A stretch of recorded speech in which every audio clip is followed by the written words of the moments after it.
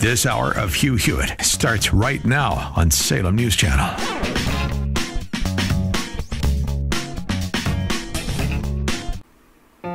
Good morning, America. I'm Hugh Hewitt in Studio West. Former Secretary of State Mike Pompeo and former CIA Director Mike Pompeo, the same guy, they both got together and put out a memoir of their time with Donald Trump, the only senior member of the national security team to make it all four years.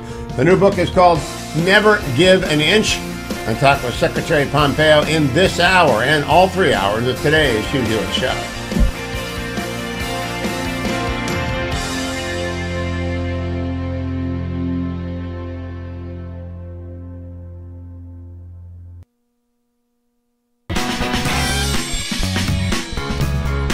You won't want to miss a minute.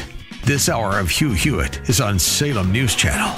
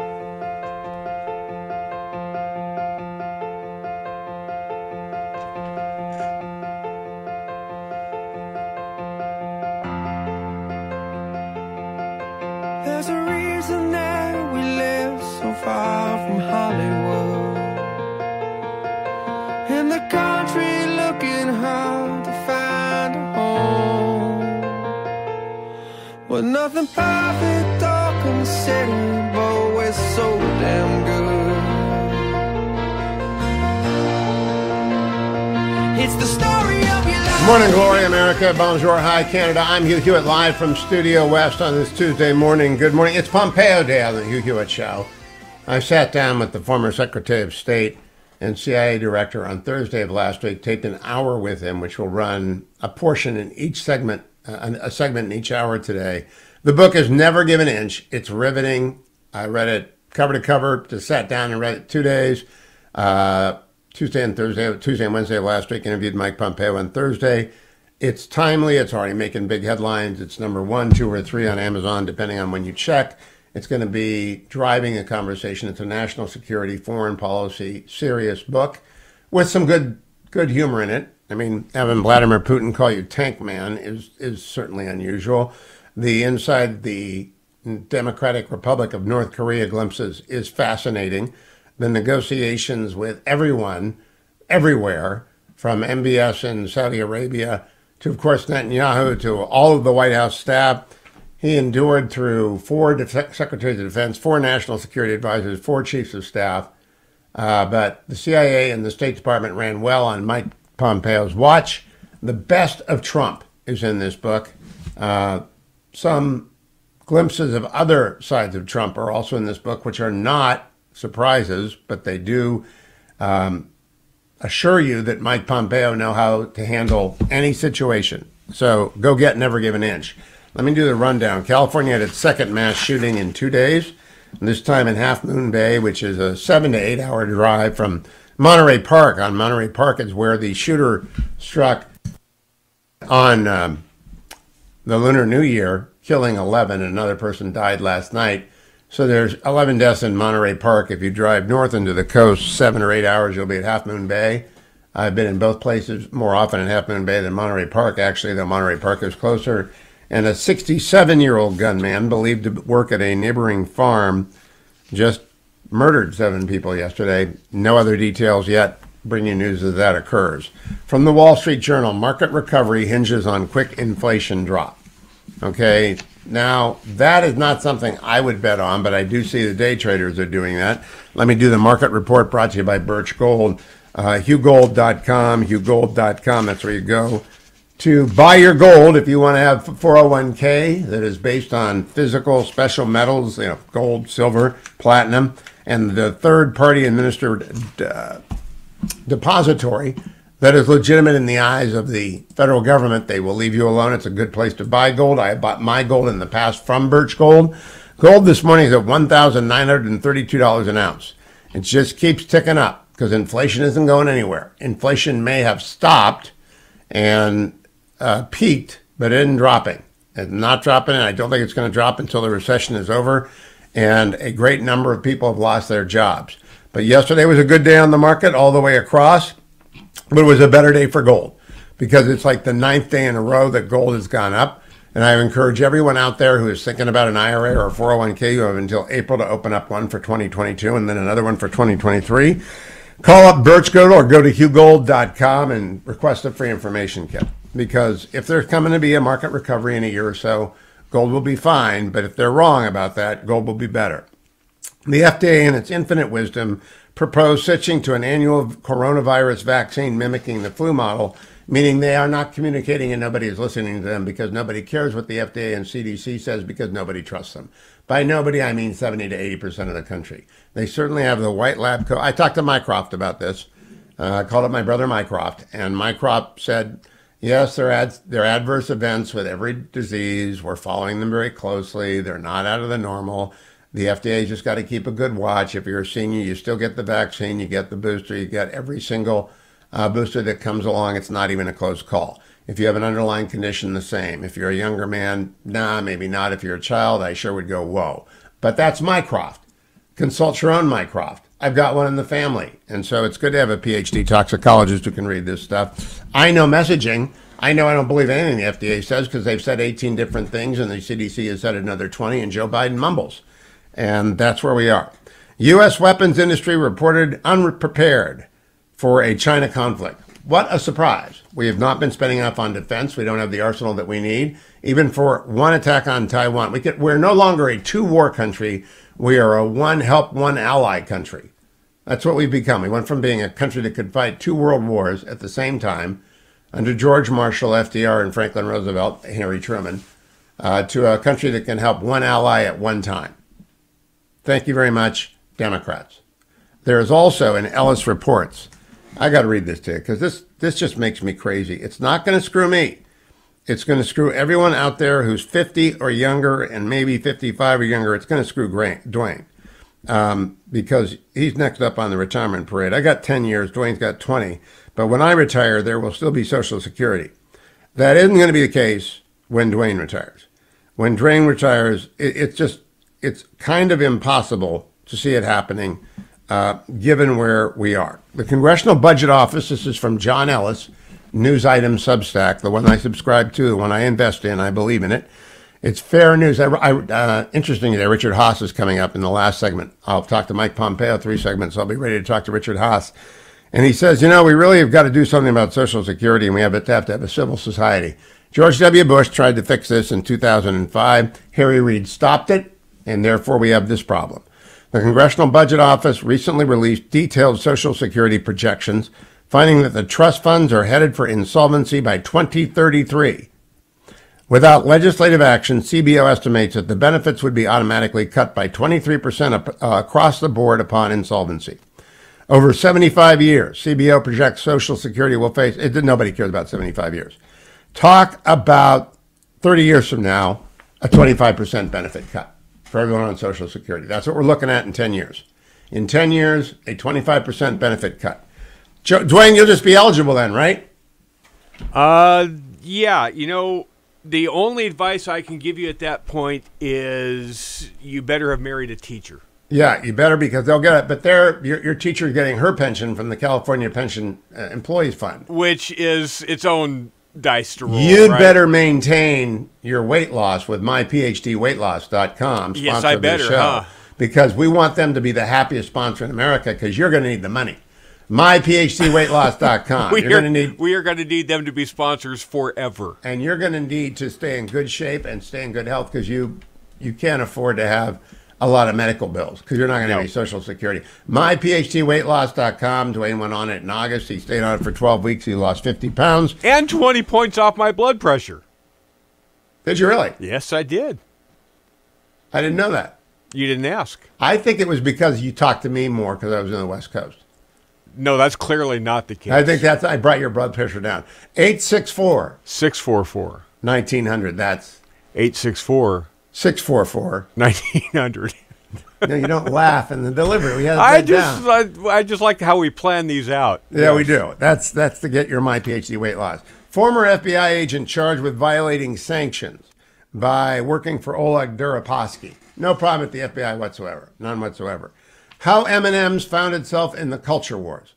Now, I should call up John Schroeder, who's terrorizing Indiana as we speak. I talked to Schroeder yesterday, and Schroeder's in, Indi- in Tennessee. Did I say Indiana?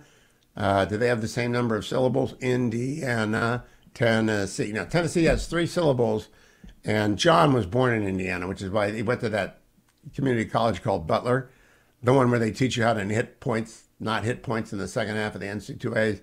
But now he's in Tennessee, and his much much better half is an M&M's collector fanatic, and it's her. Well, she married John, but other than that, it's her only failing is that she's got an M&M's thing, and now M&M's is pulling out of the culture wars.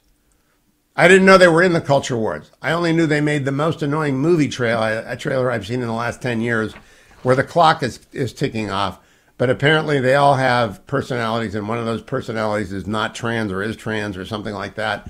And yet another one bites the dust. If I had a producer, the button would have, as soon as I said another one gone and another one's gone, and another one's bites the dust, I would have had that, but it's too late.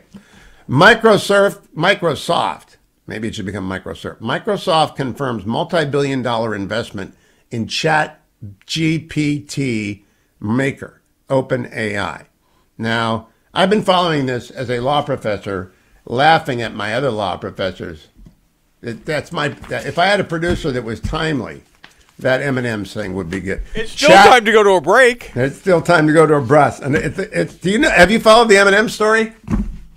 I have, Yeah, and that's a- my vice too. Actually, I know. And so you're both I you've been know, left I out in the political cold. Coming up later in this hour, Mike Pompeo, his brand new book, Never Give an Inch. Go and get it today. Make the New York Times carry it. It's going to kill them to carry it on their New York Times bestseller number one list.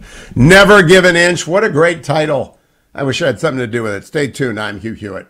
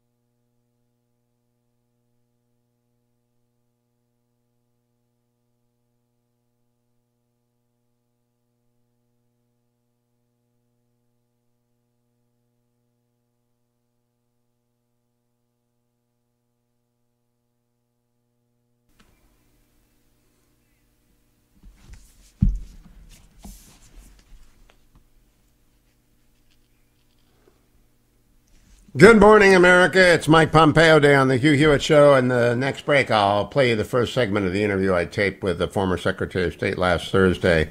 It's a marvelous book. It's full of his very explicit Christian faith, by the way. Though you may not have seen that, though you may not have heard that, he is quite the evangelical. He and Susan Pompeo even climbed the highest mountain teaching fifth grade Sunday school back in Wichita. We mentioned that in passing. Let me go to last night on uh, Fox News with Neil Cavuto. Chris Sununu, the governor, of New Hampshire had this to say to Neil Cavuto, cut number four. well, first, I cleaned my garage. I don't know. Look, I think the most concern, the most concerning point is that the president appears to be a disorganized slob that, that, doesn't even know where his stuff is. I mean, you've seen the pictures of the Corvette and the boxes of, of trash sitting behind it. So, look, unfortunately, this is really serious stuff, and and we joke about it because America has just kind of thrown up their hands on both sides and said there's no sense of accountability or transparency or public trust. So, it is a symptom of, I think, a much bigger problem out of Washington. Washington. So, look, I, you know, you got to stay organized. You got to treat confidential material as it needs to be treated, and uh, and both sides do. And obviously, you know, they found files that he had as a senator and as vice president and as president. So it opens up this whole question. America's going, well, who else has these files, right? This could this could be a never-ending story of confidential files sitting all across the country that are, and that's very important. So you have to get that under control. And that, but again, it, it really it has to start from the top. So he ain't really leading by example.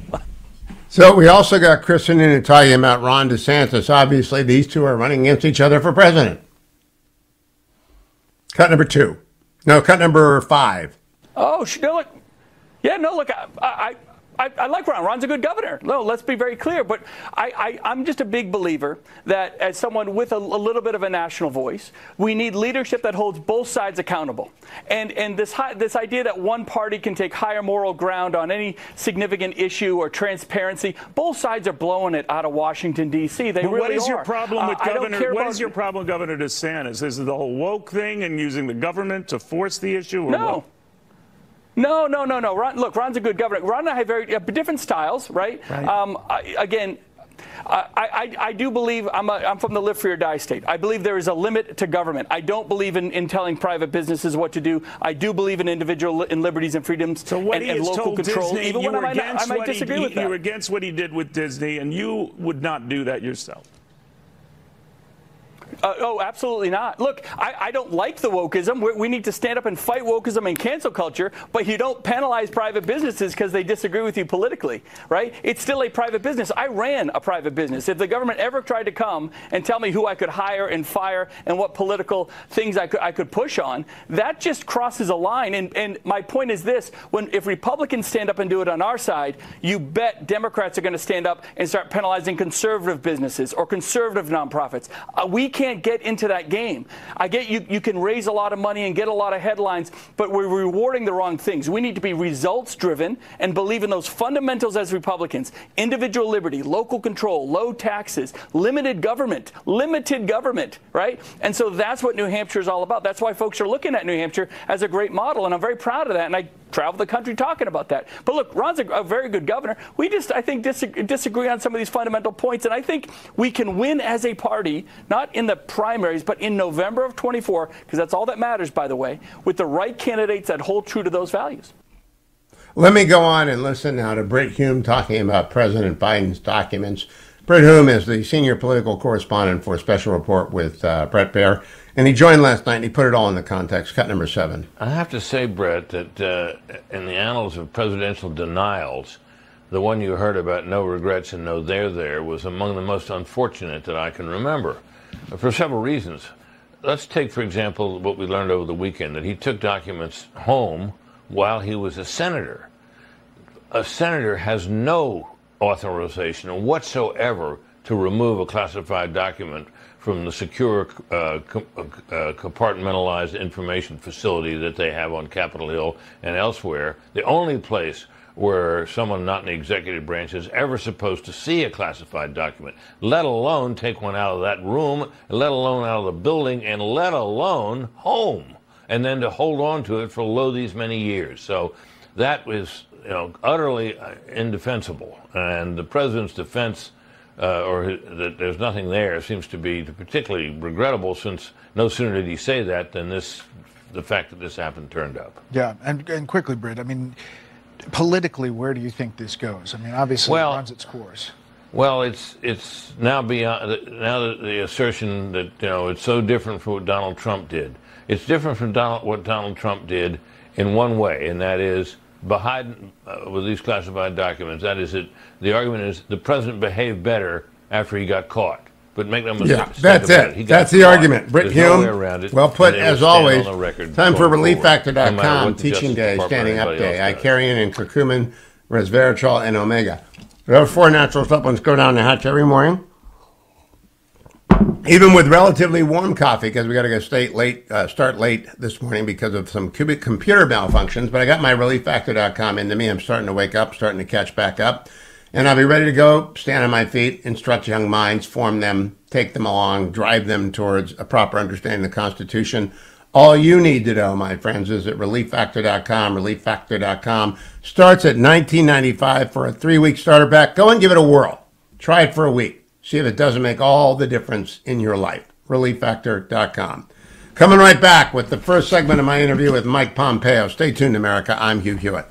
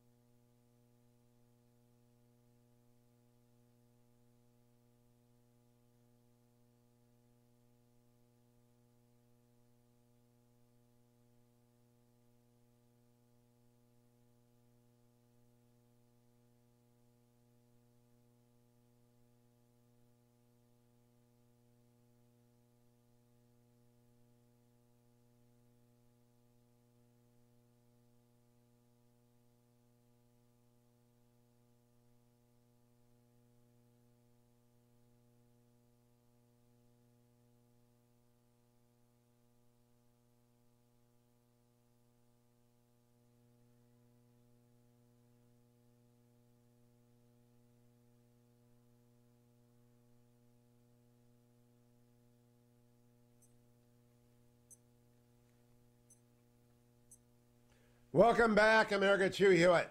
I'm joined now by the former Secretary of State, Mike Pompeo, whose brand new book, Never Give an Inch, is a fabulous read. I have been immersed in it for a couple of weeks. Good morning, Mr. Secretary. Congratulations. You did not hear, but your opening music with Linda Ronstadt singing When Will I Be Loved? Ah, well done, Lou. Or Hugh, well played. Yeah, well, I want people to begin with that anecdote because it it sets the tone for the book. You are perhaps uh, no holds barred when it comes to Washington D.C. culture, and the Kennedy Center Honors is really Washington D.C. culture. So, a light moment. Tell people about what happened there. Oh, Hugh, we um, the State Department's responsible for putting on this big event to honor great Americans, talented Americans from music and the arts. Uh, Secretary of State hosted dinner on the evening before the big event and you know, these, these folks don't like the Republicans very much. They certainly didn't like me or the Trump administration. So uh, my wife and I, Susan, were debating whether we should go. But you know, we wanted to honor the tradition. Great people, Earth, Wind, and Fire, Linda Ronstadt. There was a great group of folks, very talented. And so we, we went to this event. It's intended to honor the musicians. And the Secretary of State does a little bit of introduction work. And so I decided to keep it both sincere to honor them and with a little bit of humor. And so I I joked when I was introducing Linda Ronstadt to the podium. Uh, I, I asked the audience, I said, goodness gracious, when will I be loved? to, you know, harken back to one of her songs. Danged if she doesn't get up and look at me and look me straight in the eye and say, you're not going to be loved till you leave this guy Trump or something like that. Just the, the room, by the way, left and right in the room could see this was both inappropriate, nasty, mean, beneath the level of the nice evening we were having. Uh, wife and I just kind of chuckled, went on with our lives, fully expected in today's Washington, D.C., that those of us who believe in traditional value sets will be mocked by those who want to undermine our country. That, that's what Ms. Ronstadt was doing. It was most unfortunate and a, and a little bit funny. Now, Mr. Secretary, you've watched Washington for a number of years, a member of Congress, director of CIA, and head of the State Department. Uh, it seems to me everyone thinks it's always the worst of times. When George W. Bush was being accused, Bush lied, people died. President Obama was accusing his detractors of being racist. Donald Trump, Russia, Russia, Russia. We're going to get into that. Joe Biden now says the press is hostile to him on the document search. Is it in fact getting worse or is it always the same? Because you note in Never Give an Inch, a lot of people lost their minds in the Trump years. A lot of very, and you name them, a lot of serious correspondents just absolutely lost their mind. So is it worse now than when you first got there? And is there any way that it gets back to normal? Uh, you know, Hugh, your, your, point's exactly right, Hugh. Uh, we always think that our moment is the worst. So I, I don't want to. I don't want to recap all of history. There were folks beating each other on the House floor in the 19th century. So it has always been tough here in Washington. We have been a rambunctious country since our founding. But I will say that there was something different about what we were doing. You see it never give an inch. We talk about the fact that we we broke a lot of Washington D.C. norms. We broke a lot of foreign policy norms, establishment norms and if there's one thing that is not tolerated in this town, it is those who want to separate from the establishment storyline. And in foreign policy, it wasn't working for America. We, we broke those rules. I think we and America benefited from that greatly. And so, gosh, I don't know. Uh, my guess is that, you know, there'll be a time when there'll be another president after President Biden. And if it's a Republican president, they will come after him or her just as hard as they did after President Trump. Uh, th- those of us who don't worship the Washington, D.C. culture and establishment are always going to be frowned upon here in town and take a beating as a result of that. You know, I am surprised that you're not in Davos this week. We are pre taping this the week before Never Give an Inch comes out. And John Kerry's in Davos, so I just assumed that every former Secretary of State would be in Davos. Uh, have you ever gone to Davos, Mr. Secretary? Never been to Davos. Kind of not my vibe, you. Yeah, you and me both. I got invited this year, didn't go. I want to ask you though about the Aspen Institute. The one thing that didn't get dragged in, never give an inch, and there's a lot of DC that gets dragged here, and we're going to get into that, is the Aspen Institute. I think it's been totally captured like the Chamber of Commerce by the left wing and now doesn't serve the function it used to serve. What say you, Mr. Secretary? Yes, it's it's too bad. It's always been a place where ideas were to exchange. I think, in fact, they call it the Ideas Forum, something like that. Um, I, I, did go there once uh, to speak. I was interviewed by uh, Bret Stephens. There's an example of someone who's just brain melted down, right? Uh, Bret Stephens was someone for whom I still have enormous intellectual respect, but he lost his mind with respect to President Trump. He just he could no longer reason his way through problems and solutions and except when we got it right with a handful of exceptions. I went I went to the Aspen Forum.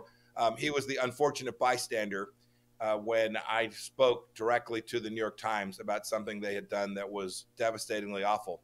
They had named one of my uh, best CIA officers. They put his name in print. I'd spoken to the publisher, I'd spoken to the editor, asking them to please not publish this man's name. We had to provide security for he and his family as a result of what the New York Times did. There was, Hugh, there was no news element to publishing his name. He had simply been responsible for large pieces of the counterterrorism operation for the last 20 years. He was running my Iran Mission Center. They didn't like that. And so they put his name in print risking the lives of his family forever. It was indecent. That happened at the Aspen Institute. And I think it's a, a mark in terms of how they now have become part of this left establishment, and I wish they'd carve out a different space for themselves. They're better than there. That. There is a blob, and one thing I love about Never Give an Inch is that you weave the ulti- the ultimate message is beware the Chinese Communist Party is our enemy. That's number one takeaway. Number two is Iran's right behind them, and Putin is a wolf. But behind this all is the blob, the Washington, D.C. blob. And you recount a story of an interview with Andrea Mitchell. And I've known Andrea for a long time, where he said, Mr. Secretary, I'm wondering. And he said, Andrea, you're not wondering. And I love that. And, and now that it may be the secret to Donald Trump's success with America is they know there's a DC and they know there's a rest of the country. And everyone in DC is either with DC or they're with the rest of the country. Is my diagnosis correct, Mr. Secretary? Yes, I, I, think you're right. They can see now that there's this bigger space. There's 75 million people, even in this last election, who voted against this Washington blob that you referred to. Uh, the, the, the book talks about the uh, this establishment, how it interacted with our administration. I, I haven't known Andrea Mitchell uh, for a long time, but she was just sitting in the State Department press room that day, and I write about this. She says, "Mr. Secretary, I'm wondering," and that kind of sarcastic wondering. She wasn't wondering. She didn't even need to finish her sentence, Hugh. She wasn't wondering. She was trying to bang away to create space between myself and President Trump, and I, I wasn't going to let that happen. And so I had a little fun that day too. I have got the Never Give an Inch annotated copy here. Uh, Secretary Pompeo sent me an autographed copy, and of course, I ruined it for everybody else because it's so deeply annotated and completely underlined. But it is a uh, wonderful read. Part two coming up next hour, part three in hour number three, and then I'll play out more parts over the course of the week so that the entire audience, whether they take Tuesday or Wednesday off, uh, and sometimes people do one or the other, but they're not going to miss them for three days in a row. I'll make sure I even put some on Thursday Go out and get your own copy of Mike Pompeo's Never Give an Inch. You will not get a full, thorough read of it unless you read it yourself. This will be the best interview the secretary does because we spent an hour talking about it, and I'll parcel it out over three shows. But the key is to understand full throated defense of the national security policies of the Trump administration, including Mike Pompeo, was there every day of the entire term. First at the director of the CIA, and then as the uh, Secretary of State and therefore it's a bird's eye view. There have been some good memoirs. Mike Pence's was good, but Mike is a vice president, doesn't get to see much. You get uh, a good memoir from Jared and one from Kellyanne Kushner. They yell at each other mostly in the books, at each other across the hallways of the West Wing. And then Bill Barr's memoir is very, very good, but it only covers uh, less than 50% of the of the Trump years. This is the beginning to the end from Trump Tower to um, the transition to Joe Biden. It's all in Mike Pompeo's new book, Never Give an Inch. Contrast Pompeo's tone, grasp, experience, seriousness with Pete Buttigieg, who was on Morning Joe yesterday. I, I really can't even. No, he's on CNBC with Tyler Mathisen talking about the years ahead. I just told you Social Security is going broke in 10 years. Cut number 12. Well, it really is about the merits of the project. Uh, there are so many applications that come in. We prioritize them based on uh, the, the main reasons that our department exists and, and the reasons we needed this investment in the first place. Number one on the list is safety, and that's definitely on our mind uh, with something like strengthening this bridge against earthquakes. Uh, but we're also looking at what's going to benefit our supply chains, lead to economic strength, support jobs. Uh, we're looking at investments that, uh, that are fair, that contribute to equitable economic growth. We're looking at climate climate impacts because every transportation decision in, in the 21st century is a climate decision, whether we recognize it or not. And uh, thankfully, because we have such a, a big investment, uh, you don't have to look at which states got funds from this infrastructure law and which ones didn't. Every it's been single uh, state, seven months. I believe we're already what I would like, over what, 3,000 where's the bridges. ground underway? Some of them where's big the iconic planning? ones like this. Are you giving it all Uh, some of paper them bridges pushers? that, which uh, is what you they're or I doing. might not I would really like to of, but if know that uh, rather than Pete Buttigieg telling us everything's great, everyone's going to get money, we're going to rebuild the Golden Gate Bridge. They ask him, can we have a list of where the contracts have been let and how much the contracts are for and what the schedules are? Yesterday, I admir- uh, interviewed Admiral Mike Manazir about his book, How to Learn to Lead, about taking the Nimitz into dry dock for six months and having to uh, go through a checklist of 10,000 major items and then many sub items below each of those 10,000 items in order to get America's premier wa- warfighting ship back to sea and how you get that done in six months. That's six months. It's been longer than six months, and we've got Pete Buttigieg in front of a uh, bridge saying everything's going to be fine. Compare that with Mike Pompeo. These people are not serious. Uh, the president is infirm, and his candidate is not serious. Meanwhile, uh, Biden spokesperson Ian Sams went on Morning Joe yesterday, went to friendly country, and said this, cut number eight. The president's personal lawyers and DOJ are in communication and they're making sure that they're coordinated on the next steps of this investigation. Look, we're going to be really careful not to talk about potential future steps and developments in the investigation itself because we respect the independence of DOJ to conduct this thoroughly and fairly on their own accord. And so I'm just not going to get ahead of that process in questions like that. Okay, so there's a possibility. Yeah, the, uh, so what the lawyer from the White House said is asked whether or not there are more documents. He said, "I'm not going to tell you." Uh, because nobody will ask. It's Morning Joe. It's softball, right? They, they play softball with Democrats over there, but uh, they're not going to tell you. Uh, and the, uh, the the reality is we are screwed in this country until we get a new president. But let me go back through the rest of the news of the morning. Defeated under Trump, a traumatized EPA struggles with its mission. Now, I did not read this Lisa Friedman article. Scott Pruitt was a friend of mine. Andrew Wheeler was a friend of mine. My son worked at EPA.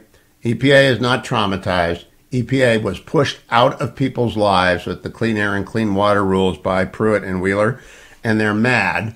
And they let a whole bunch of worthless bureaucrats go home. And those worthless bureaucrats are talking in the New York Times about how traumatized they are. And that's pretty much par for the course. Do you worry about the EPA being traumatized? I worry about Social Security being bust in 10 years. That's what I worry about. What do you worry about? Uh, come right back. More straight ahead on The Hugh Hewitt Show.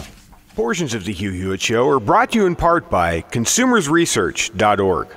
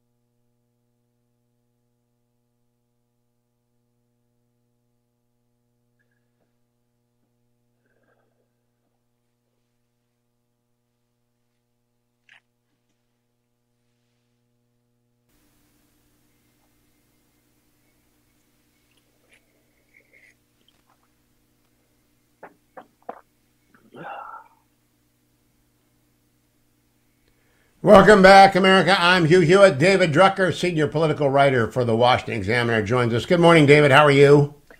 Good morning, Hugh. I read your story about the last thing the Republican House is likely to cut are entitlements.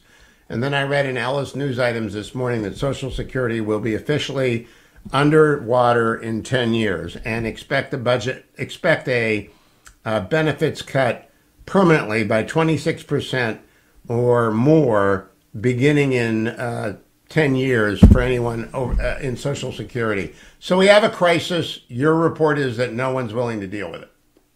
That's correct. And that part of the reason is the American people, the voters, don't want anybody to deal with it. They get very itchy anytime somebody suggests reforming Social Security. Usually that somebody's a Republican.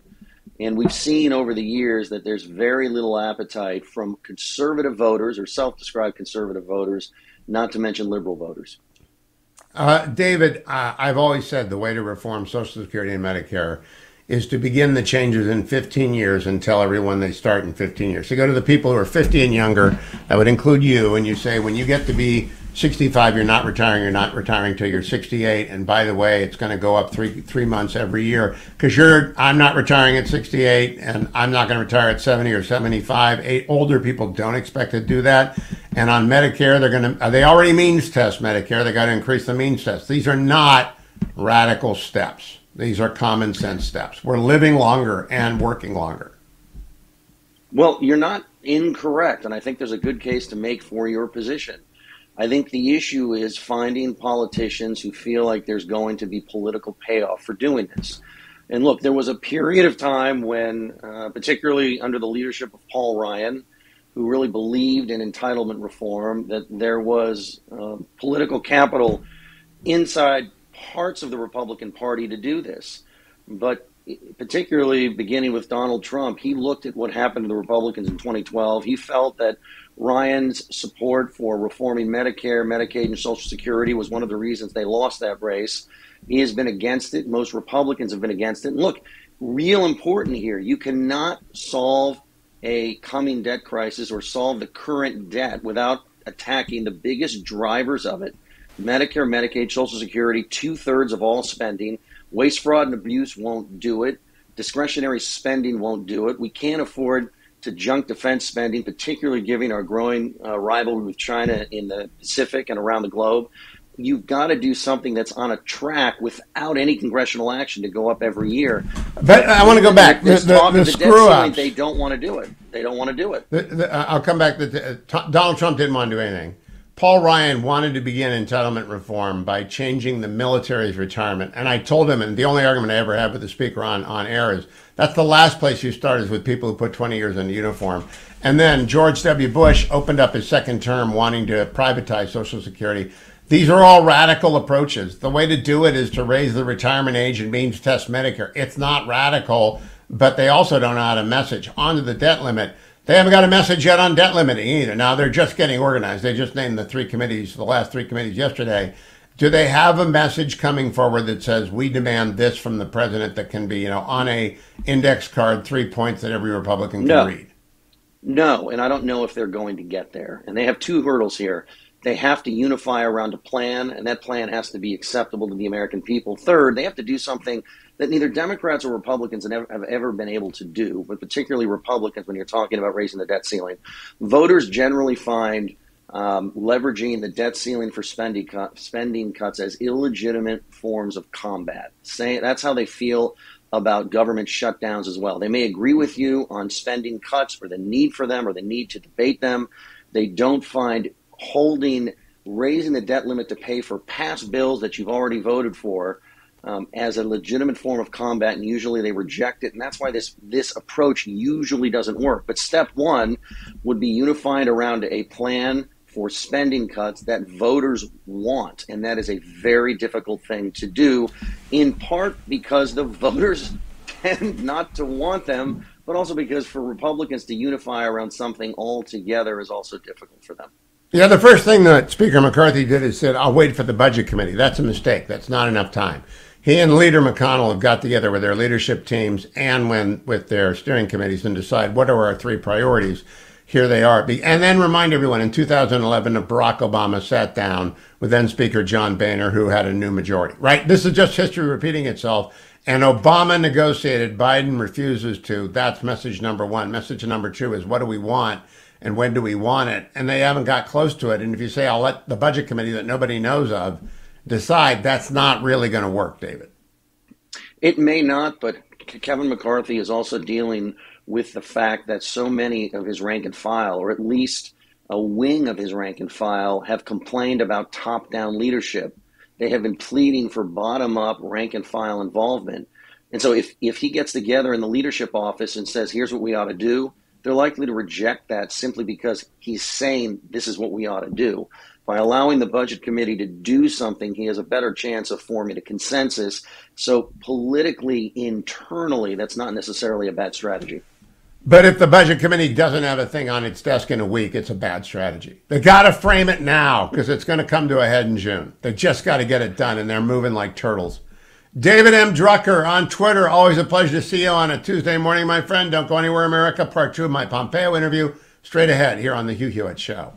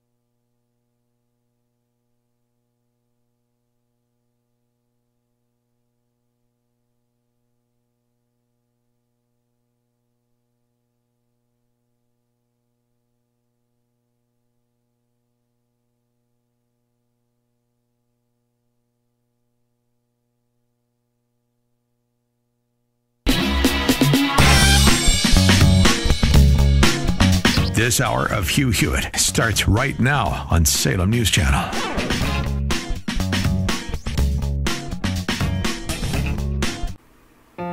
Good morning, America. I'm Hugh Hewitt in Studio West. Former Secretary of State Mike Pompeo and former CIA Director Mike Pompeo, the same guy, they both got together and put out a memoir of their time with Donald Trump, the only senior member of the national security team to make it all four years. The new book is called Never Give an Inch and talk with Secretary Pompeo in this hour and all three hours of today's Hugh Hewitt Show.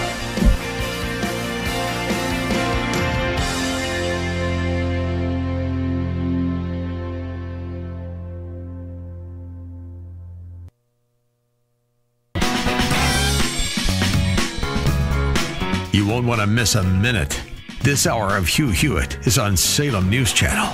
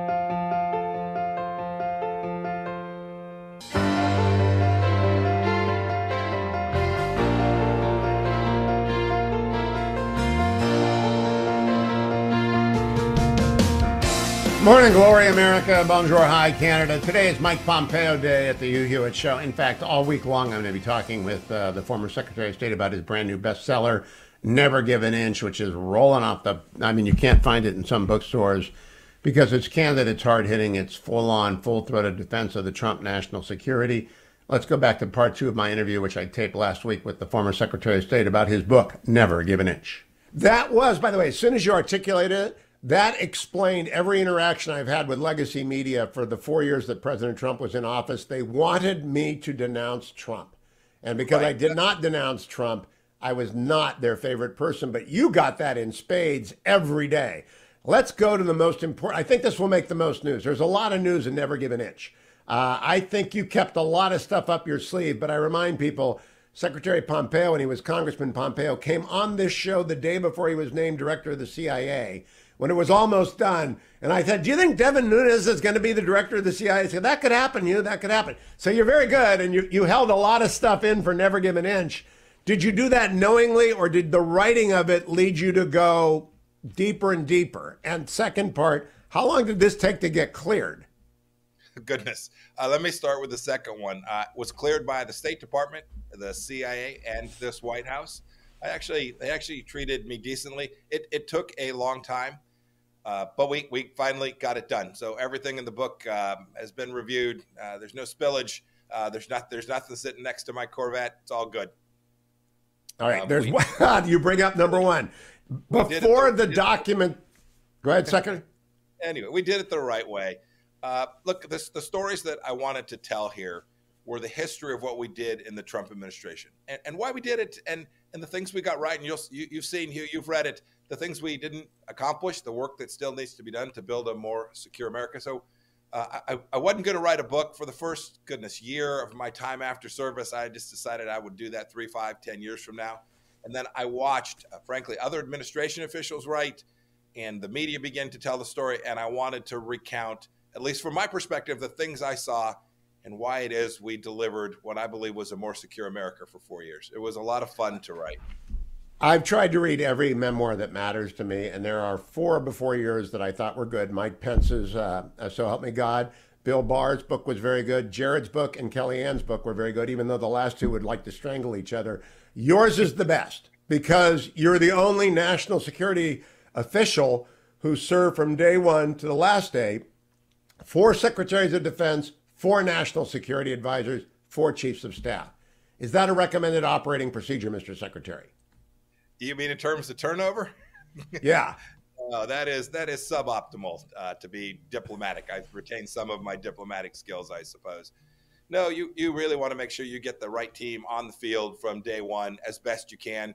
Doesn't always work that way, but that transition every time there was a transition to an acting Secretary of Defense or a confirmed Secretary of Defense, or as we switched out national security advisors, it meant a lot of relearning, a lot of tracking back through uh, ground that we had already covered, different ideas. Maybe that's good. Um, but uh, my recommendation, a, a, preferred solution would be to find the right team as early as you can, get them on the field, and then drive as hard as you can towards your objectives. It is. I, I was a Secretary of State for a thousand days, Hugh. I needed another thousand to complete the mission set. Yeah, the CIA comes across as much more leadable than the State Department. When I put down never give an inch, and I know I don't know that anyone else served in both capacities. I can't remember anyone else, but the CIA seems so mission directed and secret that you could work your will on it with three political appointees. But the State Department, my God, I don't know that anyone is ever going to change it. Do you think it's possible? You know, Hugh, I uh, I've run seven organizations, maybe eight, depending on how you count them. Starting as the assistant manager at Baskin Robbins, I frankly, I think I left most of them better than I found them. But the State Department is a beast. Three unions, civil service rules. Uh, you gotta, you gotta go fix that. I, it was, it was a thousand days of pushing back against a machine that had its own vision for how foreign policy ought to be run. It's not that there weren't some good people there. There absolutely were. Uh, there were some folks who were on the team, but that bureaucracy must be brought to heel. It has to do what what the president asks it to do. I did I don't want it to be conservative. I don't want it to be liberal. I want it to respond to the president of the United States and his duly confirmed Secretary of State. And it doesn't. You're, you're right. The different kettle of fish at the Central Intelligence Agency. It was an organization that said, "Yes, sir, boss, got it. You want to go? You want to go uh, around left tackle? Here we go." And uh, it, it made it a much more functional, much more efficient, and on behalf of the American people, a much more effective institution. Let me start with a, a, newsmaker in Never Give an Inch. At the CIA, when you took office, you immediately began to look into the Russia report that was used to ambush Donald Trump on the first January 6th, which you write, January 6, 2017 is the first January 6th. That's when Comey, Brennan, and Clapper, plus you, uh, not knowing what was in the document because you hadn't been confirmed, basically sabotaged the next four years. And you did an after action deep dive at the CIA. Would you tell people what you discovered about the intelligence community Russia report that became the Russia, Russia, Russia hoax? Hugh, I was asked to go to Trump Tower on January 6, 2017, for what may have been one of the most remarkable meetings. I was still just a backbench congressman from Kansas awaiting my confirmation process. And there you have uh, Director Comey, uh, head of the FBI, Director Brennan, head of the CIA, and, and uh, Jim Clapper, the head of the DNI all basically tell the president he's a Russian asset. They've got this document that became known as the Russia ICA. It was the foundational document that Adam Schiff used to lie to the American people about the Russian hoax, the fact that our administration was cuddly to Vladimir Putin and Donald Trump was a Russian asset. It was false. It was based upon a series of lies about this Steele dossier that was later used in the FISA courts. And I now can see uh, they were convinced that uh, they were telling the president something they knew had no foundation. And I, I, saw it. So when I got to the CIA, not not quite on day one, but very very quickly, I, I gathered the team had that had done this work. It was actually some really talented analysts, but they had gone around the most senior leadership in the analytic department. Two of the three most senior leaders there, who came to me and said, basically, we were xed out, we were crossed out of the process. Director Brennan went around us. Then I came to learn that Director Brennan knew that the Steele dossier wasn't worthy of inclusion in the ICA. He kind of went back and forth. Uh, it ultimately ends up in a footnote uh, of the ICA. That was the compromise. But of course, we know, Hugh, we know the history. That becomes the foundational document upon which a president was impeached. And put aside Donald Trump, put aside Mike Pompeo. Those two years where this Russia hoax was the story of the day on nearly every major network across America reduced our capacity to perform our central functions. It lost focus for the president and me and others who had to deal with it.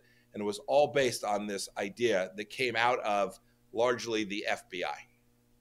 Now, I would I would direct Congressman Jordan and any member on the weaponization of the federal government subcommittee of judiciary to read pages 112 to 116 of Never Give an Inch, because there it names names, or it doesn't name names. I'm curious you name the senior Russian analyst and a colleague who put in writing their objections to the CIA's report. They put it in writing and they came and they spoke to you, but you don't include their names. Do you think they will appear before the Jordan Committee? Ought they to appear before the Jordan Committee, or will the re- revelation of their name put them in danger? No, I think these folks are now at a stage in their career where they can testify, and they, they ought to be asked to. And if it needs to happen in a classified setting, to protect them. That that'll be a judgment that both they and the agency and Congress will have to make. If it has to be in front of in a classified setting, so be it. That story ought to be told directly to Congress. More coming up with Mike Pompeo in hour three and more tomorrow as well. Let me now tell you who is fighting on the domestic side. Consumersresearch.org, great sponsor of this show.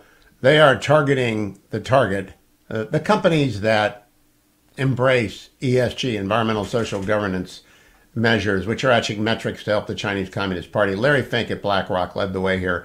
But now Disney, Nike, a whole bunch of other people, the NBA, they're all in bed with the Chinese Communist Party. And ESG is doing nothing to protect the Uyghurs, doing nothing to stop the pollution coming out of China and India. Nothing can be done, actually. And other than the left's agenda, which is to cripple American productivity. But consumersresearch.org is on the front line of this. And I want to encourage you. Will Hild came on, talked to me about what ESG is up to what Consumers Research is doing, go over to consumersresearch.org, consumersresearch.org, and uh, check that out. I also talked with uh, Amy uh, Leibovitz yesterday. She is the travel agent for the Seven Seas Regent Voyager cruise, the Regent cruise that I am leading along with Generalissimo and Guy Benson as we go from London to three stops in France, couple stops in Portugal, three stops in Spain, end up in Monte Carlo probably during the presidential campaign. Guy and I and, and Duane will be talking about candidates 2024. But to find out more about that, call Amy at 818 853 8536 or go to hughcruise.com, hughcruise.com. Start September 7th of this year. Or you can always just go to hughhewitt.com and scroll down for the banner. Uh, picture of Hugh, picture of Guy Benson. Come along with us. I talked to her yesterday. Lots of people calling. It's going to fill up.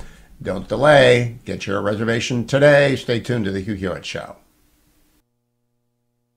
Portions of the Hugh Hewitt Show are brought to you in part by consumersresearch.org.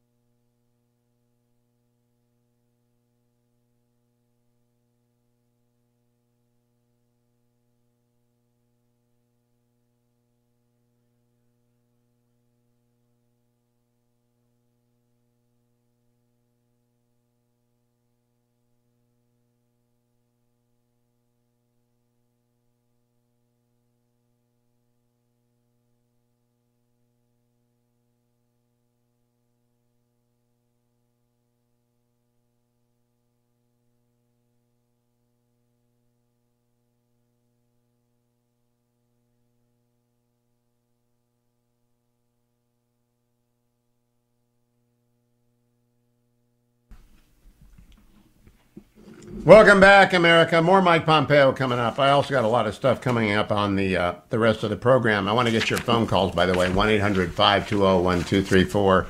Nobody asked the president yesterday if there's a subpoena. Nobody asked Karine. Nobody asked anybody anything about where, why did we have five document searches? Why do we keep having more documents? Nobody does nothing because they don't understand it. A lot of reporters are under the age of 40. They have no training in, in legal media. They have no idea what might be going on. They don't talk to lawyers. They talk to each other about who's going to make what move next in the in the 2024. They have no idea what the Social Security crisis is like. They're too young to worry about it, but it's coming in 10 years. It's going to hit people like Duane, who are going to turn 65 that year. They're not going to screw with people like me, who in 10 years will be 76 or 78 or 80 if, if God gives me long life. They're not going to ever screw around with the super seniors, but the people who are 65 to 70 are really going to get crushed in 10 years because Democrats spent all the money and now we have to make some cuts, and they don't want to do it. Let me go to the markets, by the way, brought to you by Birch Gold. If you buy gold today, uh, you want to do it from Birch Gold. They're available at hughgold.com, or you can text my name, Hugh, to 989898. Gold is at $1,939 an ounce right now. When I started telling you it was disconnected to the market dynamics last fall, it was at, I think at one point it got below 1700 so it's up 15% in two months. Doesn't mean it's going to stay there. Doesn't mean it's going to go up another 15%. So what it means is it's never going to go to zero. It's never going to be SBF or Bitcoin. It's never going to completely roll over on you. It's your runaway money, and you cannot hold it in an IRA or a 401k or a SEP IRA and allow it to grow tax free unless it is a third party administrator. Like I got this crazy third party administrator on a uh, equity investment the fetching Mrs. Hewitt and I made, and dealing with them are a pain in the neck. Not Birch Gold. Uh, they make it very easy. If you want to set one of those up, all you have to do is go to hughgold.com or text my name, Hugh, to 989898. More of Mike Pompeo's book is coming up. All right, never give an inch. First of all, ask yourself have you seen him anywhere except Fox? This is an explosive book, especially on the Russia, Russia, Russia matter. Uh, basically says Brennan Clapper and Comey set up the president elect of the United States on the 1st January 6, 1617, when he was set up. And that's probably the most newsworthy. I pushed that out first this morning, but there's a lot more. I have a Washington Post column coming out later today on something I did not. I only had an hour with him. You cannot cover. You know, when I do a book interview, I talked to Admiral Manazir yesterday for an hour and barely scratched the surface of his Learn How to Win to Lead book. And I only listen to general officers on leadership issues, retired two star. And so Mike Pompeo, Secretary of State, comes along, the CIA director comes along. It's been an hour, a year and a half since he's been out of office. I read every page. I make. I could have talked to Mike Pompeo for four hours, and it would have been to your benefit. But you really only can experience a book like this if you read it. So I encourage you to go get it. Tom in New Mexico. Good morning, Tom. Are you worried about your Social Security? Uh, good morning, Hugh. I'm a little younger than you. I'm 63. Um, You'll be I, fine. I, I agree with you probably 96.2% of the time. Um, my contention is I, I disagree with your, your point on Social Security because um, Social Security, the, the fund was originally set up as a trust fund, which is not to be touched. And then the lawmakers passed a law and where they could get into it, leaving IOUs. Well, that's and correct. To my knowledge, that that money has not been returned, has it? No, look, look, the federal government is one giant gimmick, and it's $33 trillion in the red. And it's in the red in the Social Security Trust Fund, it's in the red in the Medicare Trust Fund, but they're not going to screw current beneficiaries when they run out of money in the so called trust fund. What they've got to do is get serious right now by, in the budget deal, to raise the debt limit, do a few things like cap non discretionary defense spending at 2022 or 2021 levels, move retirement up to 68, make sure that Medicare means testing is increased 3% a year. Lots of little changes that do not kick in immediately that people can prepare for is the way to get out of it. Pat, William Pitt the Younger showed us that with the sinking fund. It's not a crisis unless you have Democrats running the Senate and the presidency. And Joe Biden doesn't even understand the numbers. He doesn't even understand how his documents got into his basement. Hey, thank you, Tom. Stephen in New Jersey. Good morning, Stephen. Morning, Hugh. Good. Uh, Hugh, what you just uh, talked about with Secretary Pompeo, what Brennan and and and all those guys did, it sounds criminal. Is it criminal? Did they break laws, and if so, are they prosecutable? Because no, they did not break laws. They manipulated an intelligence project uh, process to uh, put the president in a corner, obliged the appointment of a special counsel around which rallied the legacy media, which hated Donald Trump. It was an ex- elegant, ele- elegant political vendetta against Donald Trump. Mike Pompeo did his best to defend and diffuse it. He's identified the witnesses that the Jordan Committee should do, and there have to be structural changes at the Jordan Committee. And I certainly do believe that if you arrive in that office, you accept no briefings from anyone until your people are in charge of the briefings. That's my, my, my advice going forward after reading Mike Pompeo's Never Give an Inch. President elects, you can send me a written briefing. I'm going to have my team look at it. Don't send anything they can't read clear them if you want them to read it. And if you put anything into it that is a, an attempt to uh, spike the news coverage, as they did with CNN and the Russia, Russia, Russia nonsense, and it lasted three years and it crippled the administration in so many ways. It would be such a different country. We would not have had the COVID mess that we had. We would have been on top of China. We would have been top, deterred Russia. So much different. But for Clapper, Comey, and Brennan. And it's all in Never Give an Inch by Mike Pompeo, which is why you want to go and buy that book today. Buy it for your left wing friends. Buy it for your family members with whom you argue. Uh, let me remind you about Birch Gold. I told you, go to hughgold.com, hughgold.com. That's texting the name Hugh to 989898 as well. If you want that free information kit, I'm coming right back, America. Stay tuned.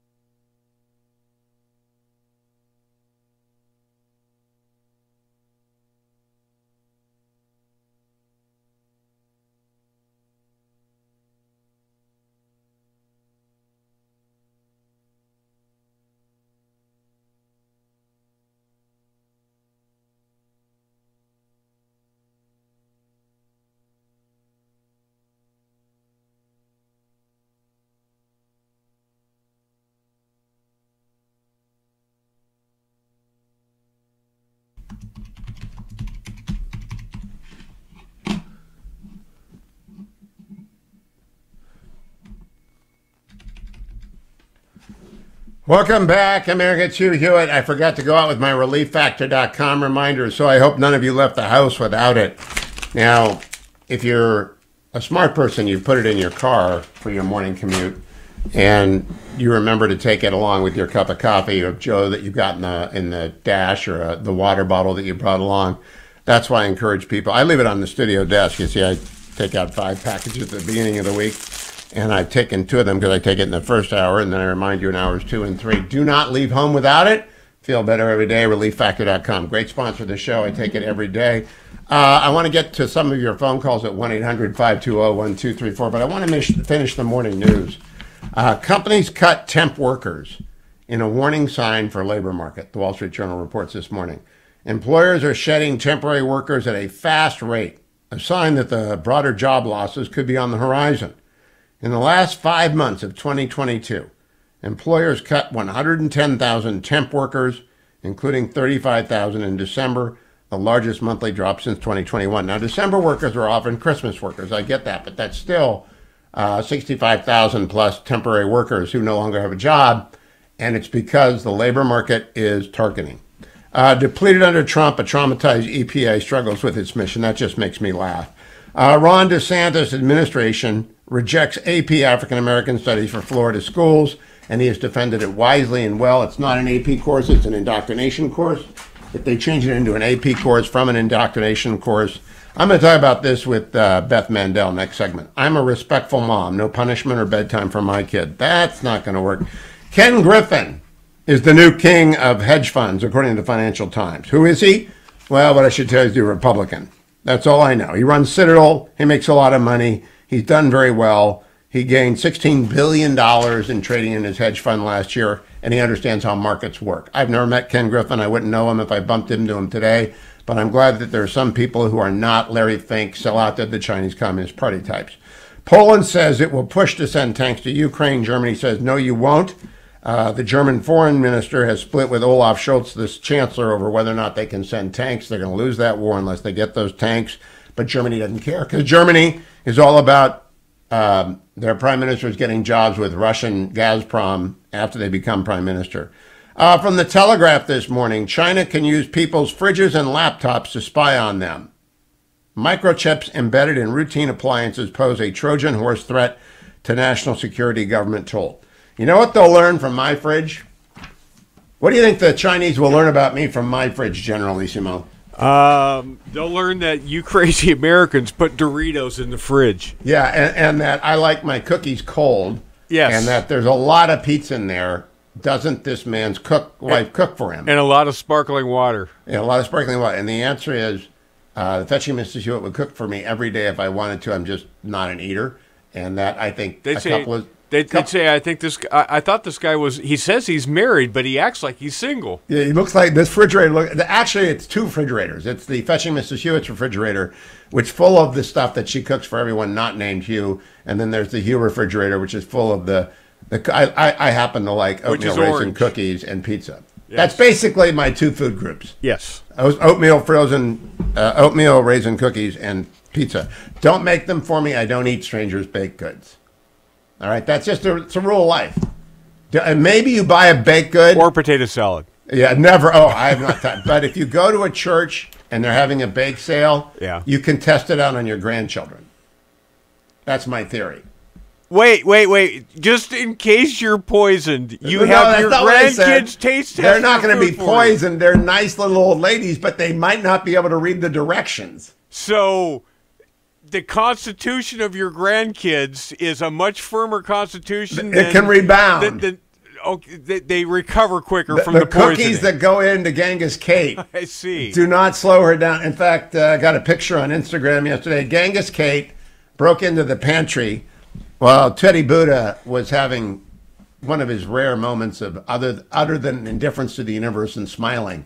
Really, he's he's the Forrest Gump of our family. I'm not allowed to say that. I get in trouble for calling him the Forrest Gump of our family. But wait, he is wait, the wait, wait, wait. You get in trouble for calling him Forrest Gump, yeah. but nothing about Genghis Kate. No, Gang- you know well, because how many emails I get because you call your granddaughter Genghis there's Kate? A, there's something in libel law called truth is a defense. I see. So Genghis Kate looted the pantry, which has an anti-child lock on it. There's no the such thing. Took the Trader Joe's box of chocolate chips, went out into the unlocked van, which is the real dangerous thing. She got in trouble for going into the van because she'd been discovered hiding everywhere else where she gets the chocolate chips. And so, uh, mother of, Ka- of Genghis Kate goes looking for Genghis Kate when Teddy Buddha goes back to being Forrest Gump. He's not here. She's not there. Where did she go? The garage door's down, not upstairs. Let's look in the van where she is with a chocolate covered face and, and the cookies are all gone. Anti, So anti-child. That's that's not truth in advertising. If you want truth in advertising, it's anti-Hugh. No, it's not. No, it's not. It's it's not anti-child at all. Let me go and talk to Dave in Dallas. Good morning, Dave. You're on the Hugh Hewitt Show. Have you bite, Have you bought Mike Pompeo's book yet? No, sir. I ha- no, sir. I have not. You should do it if you want to know about the documents. Go ahead. Yeah, just uh, in a general sense, I'm really miffed and frustrated about the handling of classified documents by our upper level civilian leaders. Um, as a colonel in the Air Force, when I wanted to go look at, I was in acquisition, so I, I needed to look at some pretty technical documents that had all kinds of secrets in there. And I had to go up into the SCIF, read, make my notes, leave my notes in there. And then when I went down and I forgot about something, I had to go back up there. Um, we ra- signed non-disclosure agreements. If we had done anything along the approaching what's going on with our president, vice president, you know, secretary, secretary of state, formerly, um, we'd be breaking big rocks into little rocks. Well, that I tell people, I got read in in 1984, and the three rules were summed up by Senator Blunt's brother, Ron, who said to me, if you leave it on your desk unattended, you'll be disciplined. If you take it home, you'll be fired. If you give it to somebody who's not cleared, you can hand deliver it to the AG at his uh, home. Uh, but if you give it to anybody else, including your wife, you'll be fi- uh, prosecuted. It wasn't hard to remember, right? Day one, brief in. Uh, leave it on your desk unattended. Just, it's just not hard, and there's a double standard. Mike Pompeo writes about this and Never Give an Inch. The GS5 in the Navy, the excuse me, the ES5 in the Navy or the GS12 at DOE that does anything like this, they lose their clearances minimum. Right. Can I ask you a question just in a broader sense? Are these, um, is this about, about uh, having documents for their, for their, for their library that they're going to have later on? And, and where I'm going with this, it, just in that sense, we're paying them to do, we're, we're paying their salary. So Let, let me explain libraries, and I've run a presidential library twice. It's got nothing to do with that. Real documents are kept by the National Archives and Record Administration from the beginning. They're moving to a new design where everything's going to be stored in Maryland because the museums that are out there are great for the world, whether it's the Reagan Museum or the Clinton Museum or the Carter Museum or the Nixon Museum. They're great museums. People love to go to them. Gerald Ford Museum, Truman Museum, wherever there is a presidential museum, go and see it. The papers used to have to be distributed because scholars would go to one site and they didn't want to go to Maryland because sometimes there were private papers held by the family, sometimes there were public papers. Now everything is digitized, so you don't need to go anywhere. You do it from home. And you don't need to be Robert Caro living in at the LBJ library. And so it's all nonsense. What's happening is people are taking mementos. They all think they're going to write a memoir that will be successful, like Mike Pompeo's. Uh, Mike Pompeo used the appropriate authorities, got every. First thing I asked him, did you clear this with the CIA, the State Department, and the White House? That why it's coming out late? And the answer is yes, I did. Did it by the rules. There are no documents in his garage. And it's not hard to get it right. I got it right when I left the government in 89. I haven't been back in the government since, so it didn't matter. But people who don't get it right, the only person who can possibly have an excuse for not getting it right is a former president because they have ultimate classification authority. But Senator Biden taking home documents, that's very bad. Vice President Biden taking home documents and keeping them for five years, that's very bad. Having an active duty server at your private residence that is as hacked as anything in the world. Oh, well, we didn't find any evidence of hacking. That I've been telling people forever. Anyone, did you know that, Colonel? You know what it's like to have an. Can you imagine having had a server at home sending the stuff you read in the SCIF oh. there? You, we had to we had to have separate computers for classified. Of course, We air-gapped. We weren't able to we weren't able to use uh, USB drives because the because the, the Chinese had, had hacked those. Yeah. So uh, just one last one last question for you, and that is, uh, how hard is it to have a group of professionals when a president is leaving office or vice president or secretary of state to make sure we have people looking at everything that's leaving that. I'll tell you why it's hard, Dave. This is actually a great question. Nobody trusts the National Archives and Record Administration as being other than a left wing, Obama filled uh, activist arm of the Democratic Party. Uh, not true about retired archivist Ferrio or the deputy archivist Bonsenko, but everyone else there is a left winger and a hard left winger. And if they won't own it, they're lying to you. They know who they vote for. And so the uh, Republican president does not trust them to It's like the CIA. When you read what the CIA did to Donald Trump and the State Department and the Director of National Intelligence with the Obama White House participation, they ambushed Donald Trump when he had won the duly he was duly elected president of the United States. And they ambushed him. They set him up to fail. And it's all detailed in the Pompeo book, and it ought to make you mad as an American. Thank you, Dave. Ken, where are you calling from, Ken? Uh, Ken from Raleigh. Uh, the politicians always cut, uh, always talk about cutting Social Security and Medicare, which Americans have paid into for decades. The messaging, just like for the budget, needs to be for, before we cut any Medicare or Social Security, we need to cut the billions of dollars we spend on, and I'll be politically correct, the migrants. And let me, Ken, Ken you're right. But they got to, dis- if they would articulate that, that's fine. Nobody's articulated anything. Speaker McCarthy's had trouble getting the majority. That's why I was upset with the right wing. Uh, has finally set up the committees, and now he's got to say to the budget committee, to the rules committee chair, go to your committees and tell me what my talking points are going to be. What do we agree on as a conference? Take a vote. We don't care if the six whack jobs don't agree. We're going to put that out there as our demands. We're going to agree with Leader McConnell, and we're going to negotiate from a position of coherence and strength.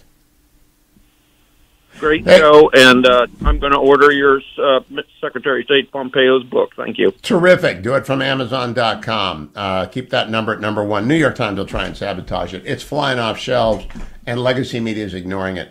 Let me remind everyone Hugh Cruz, Hugh Cruz, HughCruz.com. We leave on September 7th. I talked yesterday to Amy at Frosch Travel, and it's filling up. They're going to run out of rooms. So you're going to have to make your mind up. It's got a lot of inquiries. A lot of people are deciding, oh, what about September 7th? Is it going to be fine to go? Yes, it's going to be fine to go. But you can call Amy at 818 853 8536. I mean, you go look at the ship at a Regent Seven Seas Voyager uh, ad anywhere. It's the most beautiful ship in the world, and we're beginning in London and in Monte Carlo, right in the middle of the presidential debate season. It's going to be a grand trip. Come, come cruise with uh, with Guy and Duane and me on the Hugh Hewitt cruise in September.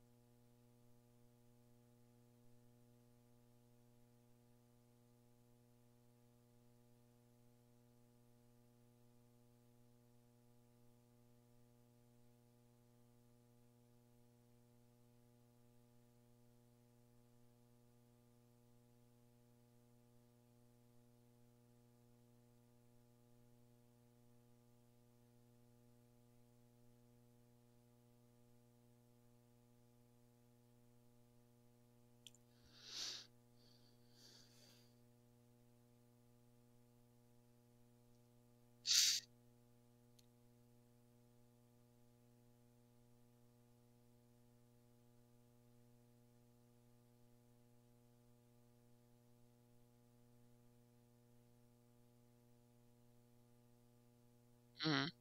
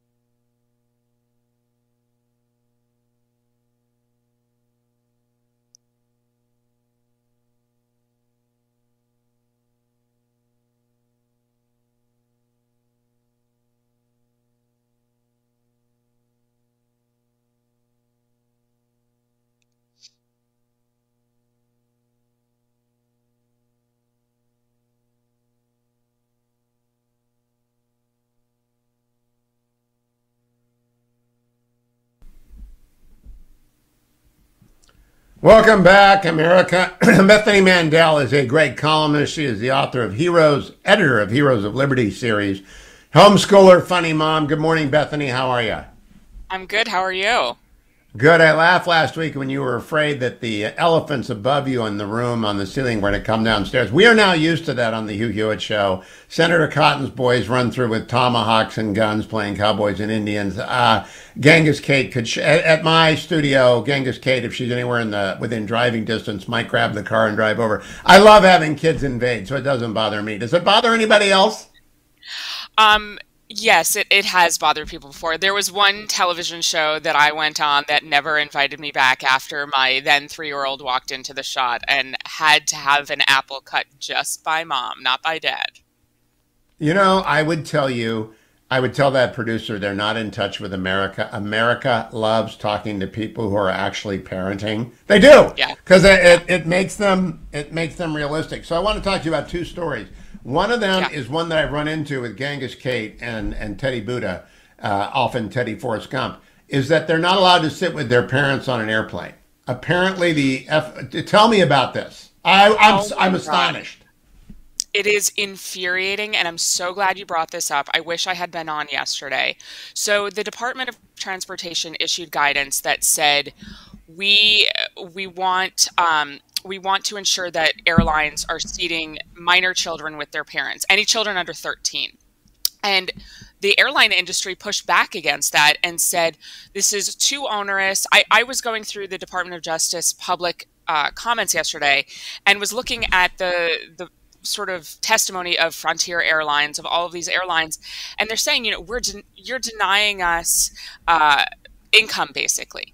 But what they're really what the Department of Justice was really doing with this was preventing them from gouging families with young children for the privilege of sitting next to their young children. We've heard so many stories of women being sexually harassed and even sexually assaulted on airplanes next to drunk people. I've sat next to drunk people, especially on airlines like Frontier and Spirit, sort of the lower lower tier airlines, and they try to gouge you they say, well, you're you're only guaranteed to sit next to your three year old if you pay extra. I don't want to sit next to my three year old. That's not a privilege. Yeah, you know, I, I, am astonished that this is any pushback whatsoever. In an era where Amazon can deliver literally anything in the world to your door in 24 hours, the airlines ought to be able to configure, even at the loss, they're trying to go for the marginal revenue from the last seat. I understand that. Sometimes you've got to give that up to make America happy with you and any airline that steps up and says, if you fly as a family, we'll, we'll seat you together, they will win. They will yeah. win. Big, big market share if they say, we will sit you together. by the way, not just from parents, but also from flyers, because what's happened to us so many times is they can't change our seats at the gate. And so they say, ask the people on the plane to switch around with you. And so as you're loading onto the plane, you're asking people to give up the seats that they paid for. And that's not right either. Right. No, it's not. And it's because airlines refuse to embrace technology that makes it easy. How many comments came in on that? I retweeted your tweet. It's Bethany Shondark on Twitter, which you might want to change someday to Bethany Mandel. Bethany, by the way, so that people could actually find you easily. But uh, Shondark obviously must be your maiden name. But how many people have commented on that F, uh, FTA thing? It was like 56. I submitted a comment late last night and they have to approve it to make sure, you know, it's not serial killer behavior, but it was dozens. Very, very few people. I, I didn't even know about it.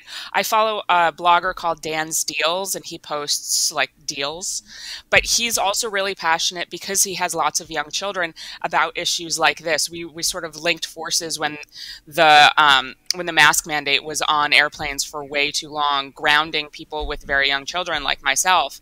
Um, and so he posted about it, and so I made a public comment.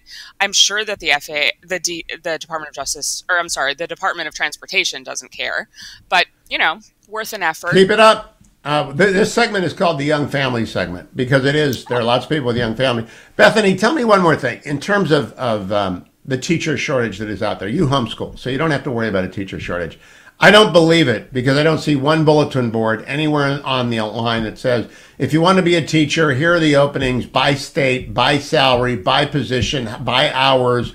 There is no need for a shortage again. Amazon could run the teacher shortage tomorrow and it would be fixed. Do you believe these public schools when they say there's a teacher shortage? I do not believe them.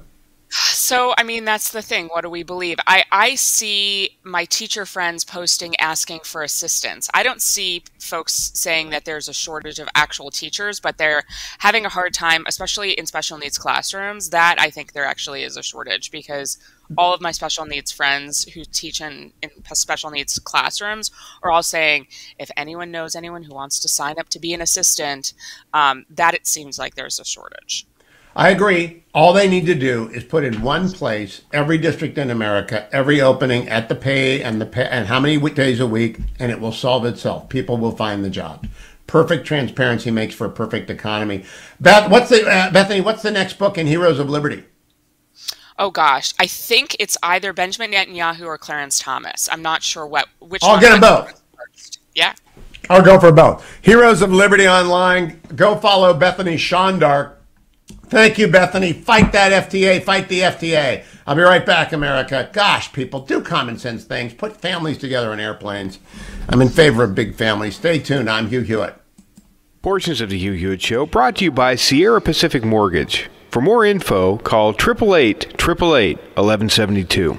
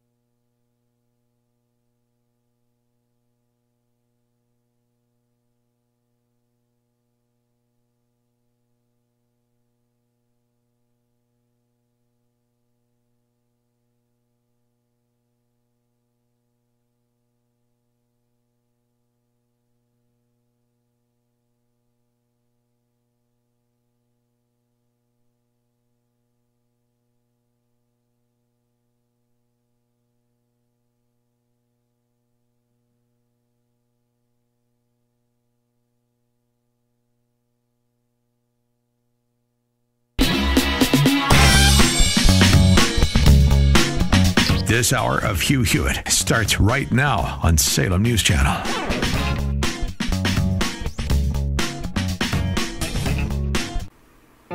Good morning, America. I'm Hugh Hewitt in Studio West. Former Secretary of State Mike Pompeo and former CIA Director Mike Pompeo, the same guy, they both got together and put out a memoir of their time with Donald Trump, the only senior member of the national security team to make it all four years.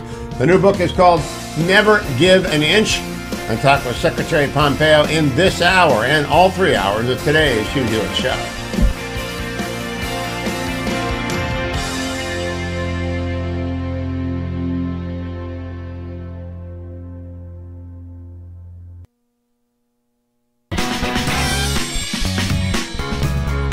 You won't want to miss a minute.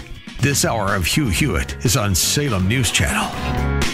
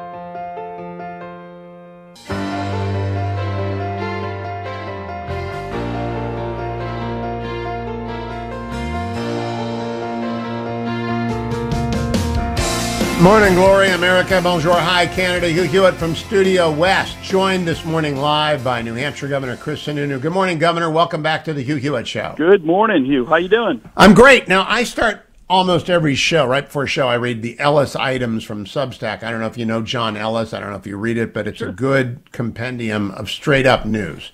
Uh, today, he, he excerpts a Congressional Budget Office report that shows, quote, detailed Social Security projections finding that the trust funds are headed for insolvency by 2033 on a theoretically combined basis.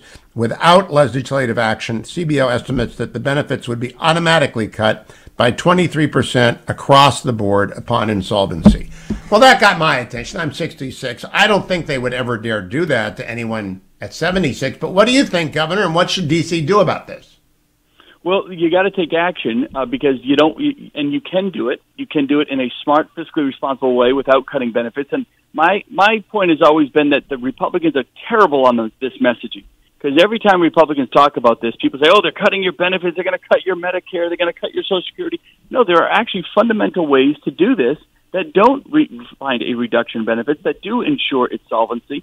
My fear is is probably just like yours that Washington is going to do what it does best, nothing uh, and just wait for the crisis to hit and deal with it at, at the 11th hour, uh, which probably means they just try to throw, you know, print more money and throw more money at the situation without some of the fundamental restructuring that, that has to happen. But it absolutely can be done without the loss of benefits.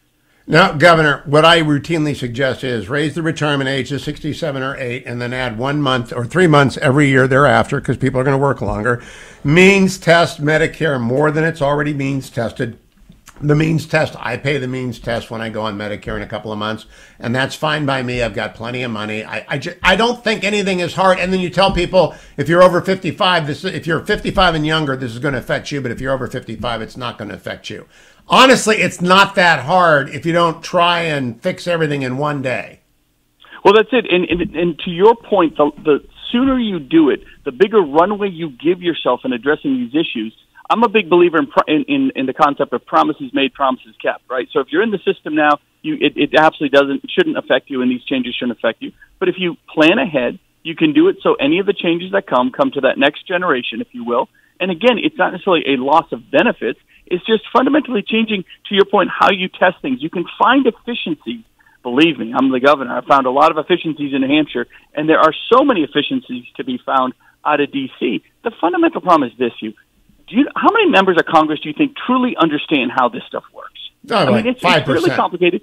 Five percent. It's so few, right? So they are making judgments, policy judgments on political headlines and talking points, as opposed to really understanding systems. And that's always been my biggest frustration with anyone in government. I, I'm just a big believer. You got to do your homework, and if you don't understand something, you don't have to be an expert in everything, but you got to get folks in the room that really understand this and can put ideas on the table. I don't care what your political background is; just give me some ideas. Now, Governor, point, you're if, you are the uh, you're the MIT guy. I'm the Harvard guy. I believe in messaging. You believe in getting things done. My messaging. you got A's. You got A's. I fought hard for C's. it's true, except in Harvey Mansfield courses. Uh, but I, I, do look at the Republicans right now, led by Leader McCarthy, uh, Leader McConnell, and Speaker McCarthy and they have not yet agreed on their three must haves in the debt limit negotiation. I think it's irresponsible for the president to say no negotiation. I don't think that will hold up. But only if the Republicans come up and say, we want these three things in June. What do you think of the Republican approach to the debt limit negotiations, which is not to negotiate right now? Yeah, you got to negotiate. There's no, there's no question about that. I think you can ha- have kind of a hard line and principles and say, look, there are certain things we absolutely must have and then you go to the other side and say, well, tell me the things that you must have, right? And you find enough folks on both sides and get the must haves in, and you leave the superfluous stuff out. You got to give a little to get a lot. And, and, and that can always be done, whether it's balancing a budget or managing. I mean, we don't really have a lot of debt in New Hampshire because we have a balanced budget and a surplus every year. My trouble is, uh, in, as uh, uh, uh, most red states do, we have too much money, right? We're trying to spend our surpluses wisely as opposed to places like California and Washington D.C. that have these massive out of control deficits. So um, there is a way to do it, but again, you can you can be firm in your principles and what you stand for, but you you got to understand that the most important principle is you're going to be there to get something done and, and cut a deal, and that's it. Cut there are deal. three there are three buckets, Governor. There's uh, non-discretionary spending entitlements. There's non-discretionary defense spending, which has got to be whatever you need, and then there's non-discretionary non-defense spending. On that last bucket, I think you can explain it and say to people, we're freezing that at 2022 or 2021 levels forever, and they're just going to live on that budget. Does that make sense to you? Uh, look, that that's a start. I like that, but I'll give you one better. Just send it to the states, right? The concept of block grants. States spend money so much more efficiently than the federal government. So you that might be, but Governor, let me interrupt you. That's not going to happen before June. That might be a long-term No. solution, but by Long June we yeah, got to yeah, No, I'm negotiate. thinking more long term. Yeah. Yeah. No, that's it. Look, free. Look, freeze, freeze the discretionary stuff. Of course, that's like a no-brainer to me. But long term, because I, I try to think of these long terms. You want structural solutions, so we're not doing this again and again and again. Uh, and the the answer, I believe, is you, you send the money to the states. You really gut the federal government. You drain the swamp. We were told it was going to be drained. You it was never drained. Uh, but you drain the swamp, and you do that by forcing a balanced budget. I would say we're going to raise the debt ceiling with my left with my right hand, and then my left hand I'd say, and here's my balanced budget. So You know, Governor, I, I've been reading Mike. Pompeo's uh, new memoir, Never Give an Inch. Draining the Swamp turns out to be uh, a State Department that 95% liberal Democrats and left wing Democrats, a, uh, uh, an, uh, uh, FBI, a DNI. What would you do as president to try and avoid the ambush that Donald Trump got hit by on January 6th of 2017 when Clapper, Brennan, and Comey came in and ambushed him? I mean, it, it- it's clear from reading Never Give an Inch by Pompeo. It was a four year guerrilla war by the left that's built into the swamp. Um, so I, I, I don't understand the question here. Are you asking how to drain the swamp? You- you- Yeah, if you're the president, what do you do about this vast bureaucracy, which is 97% left wing? You start, and this is what the former president never quite got. You do it by balancing the budget. Through that process, you cut all these vacancies. You send all the money down to states. You you take the Department of Education, for example. You can cut it by you can keep the, all the money, but you can cut it by ninety percent, and you get rid of all the bureaucracy. You send it to the states. You find massive amounts of efficiency in doing that, and you let states decide how to spend those dollars.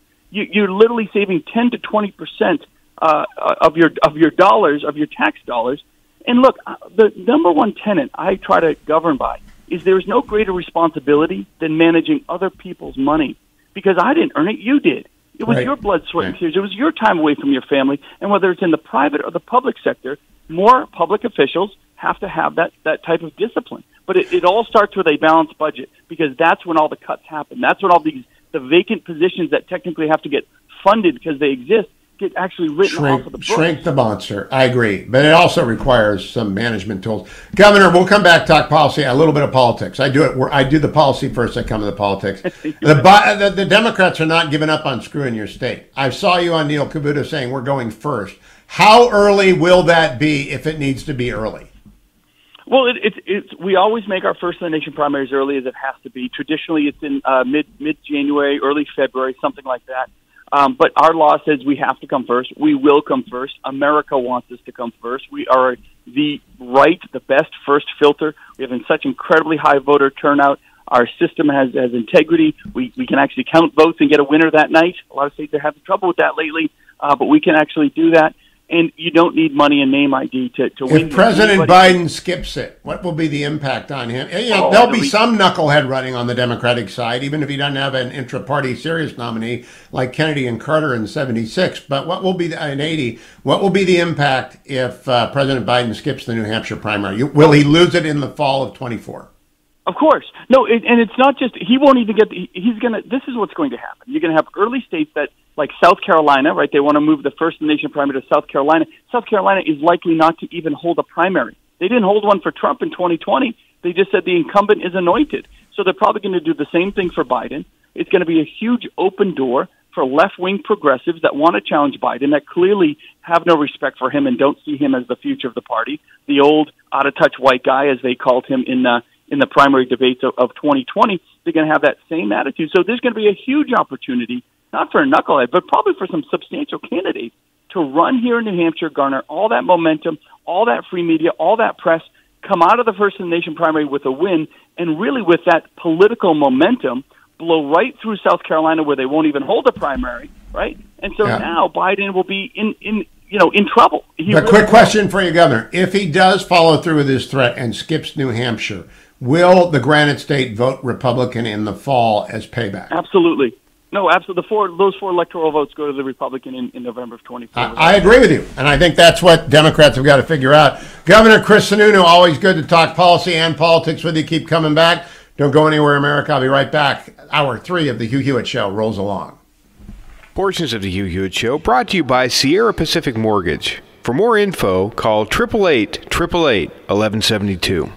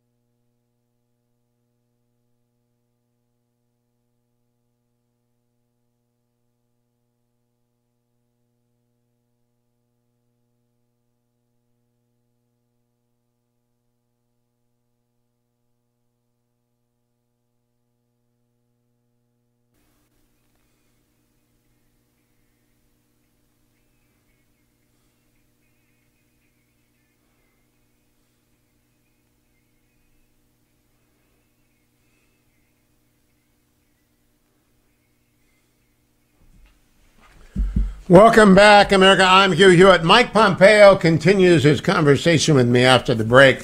My new Washington Post column just went up. I wrote it uh, over the weekend. I interviewed the former Secretary of State and CIA Director last Thursday. The book is embargoed until, of course, it's available in bookstores. So I'm running the interview today. But I didn't talk about this with him because it was so arresting. I wanted to think about it. And I wrote my Washington Post column instead about. I want to read it to you right now. As bad as news from the U.S. southern border has been lately, Mike Pompeo warns that it might get much, much worse. His insights as Secretary of State and CIA Director during the Trump administration are causing him to warn of a possible nueve once, another 9 11, this time arising from the chaotic regions of Mexico. Pompeo sounds the alarm in his new memoir, Never Give an Inch for some reviewers, the most timely content will be Pompeo's denunciation of the double standard that applies when it comes to the handling of classified material. Written before the drip, drip, drip of President Biden's document scandals, GarageGate anyone? The text foresees the lengths to which many in the media would go to minimize the offenses of a Democrat compared with a former President Donald Trump. Let's hope Pompeo is not as prescient about the lawless regions of Mexico. Quote, Every American should know that today, today, the United States faces significant ungoverned spaces closer to such places as El Paso, Phoenix, and San Diego, Pompeo, writes. Quote, significant parts of Mexico are no longer policed by the central government, he adds. There are entire well armed militias, the private armies of Mexican criminal syndicates that impose their gangland rule without government interference. I add in the column, I'm not going to read you the whole thing. Go over to WashingtonPost.com and find it for yourself.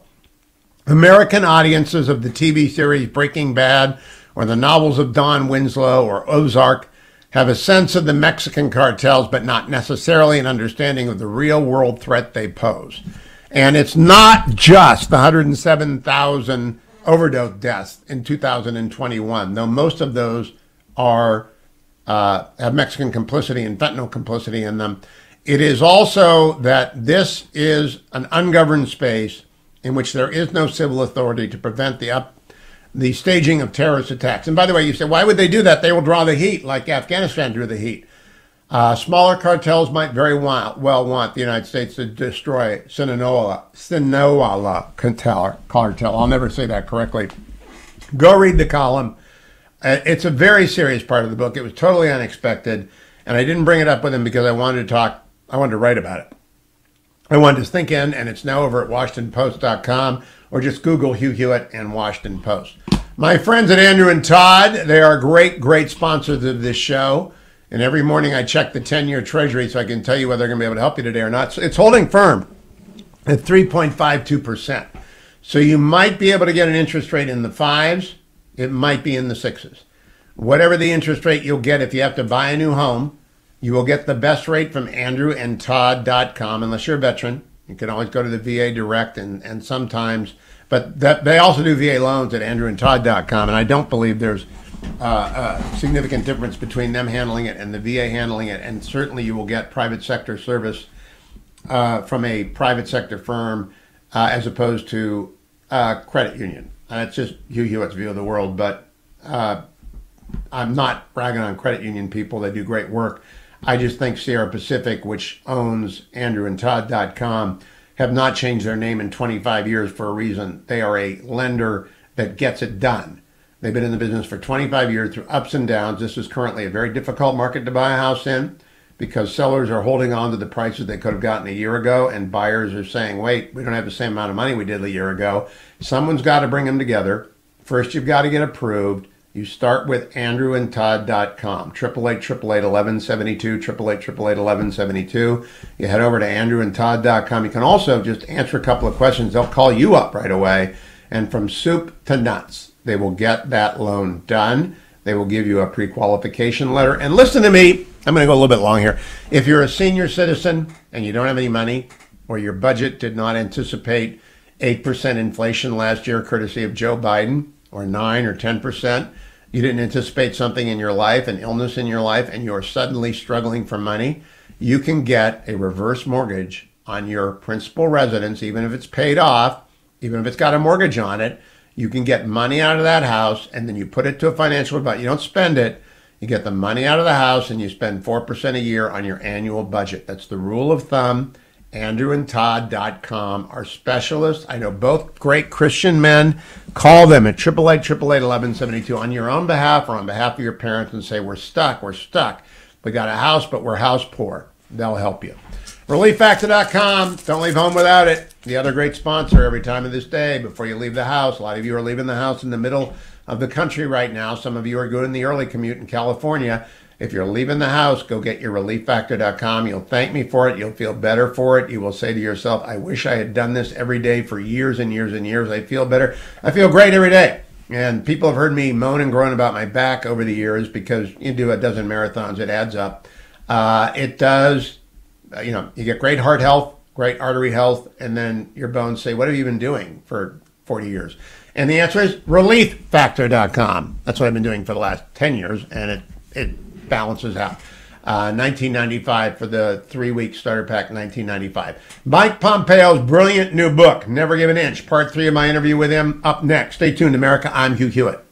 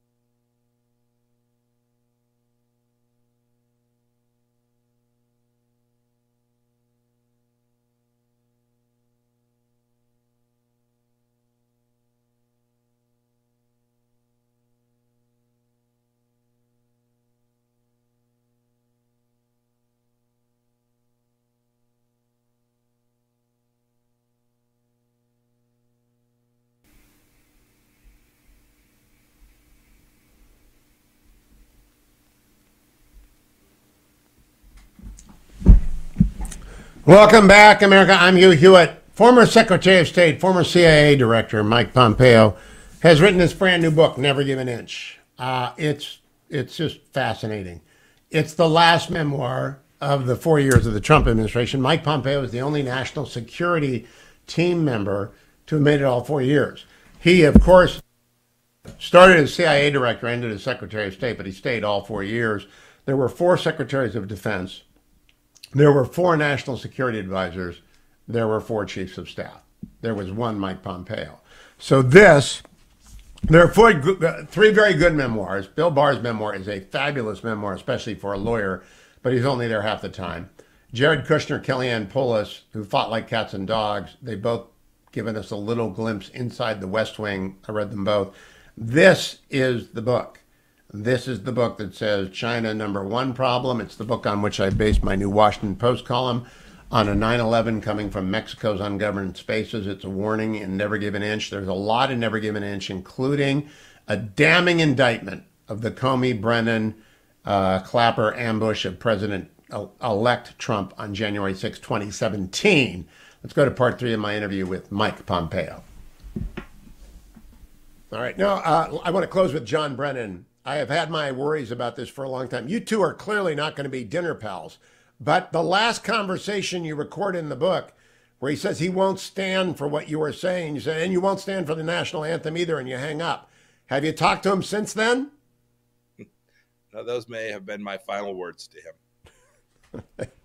By the way, the hoax lasted four years, page 118. We're going to leave it there. Russia, Russia, Russia. Mike Pompeo deals with it. Let's get to important stuff. Well timed in one respect you write in this book, which had to have gone to press six months ago, four months ago, uh, before Biden's documents showed up in the garage, this book was done.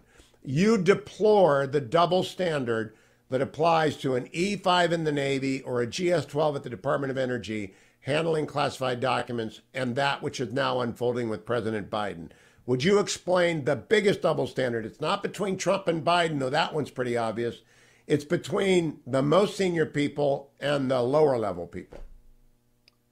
When I was a young soldier, we carried around uh, uh, something called a CEOI. It had some code signals in it, uh, most of them made up for training. Um, but we put a lanyard on it, we had it in our pocket. It didn't leave our body. We, we knew that protect. You're taught from the moment you enter government service that protecting this information matters. And when a, a young person uh, puts material where it shouldn't be, they're reprimanded at, whether it's an Article 15 review in the military or uh, just a reprimand in their file.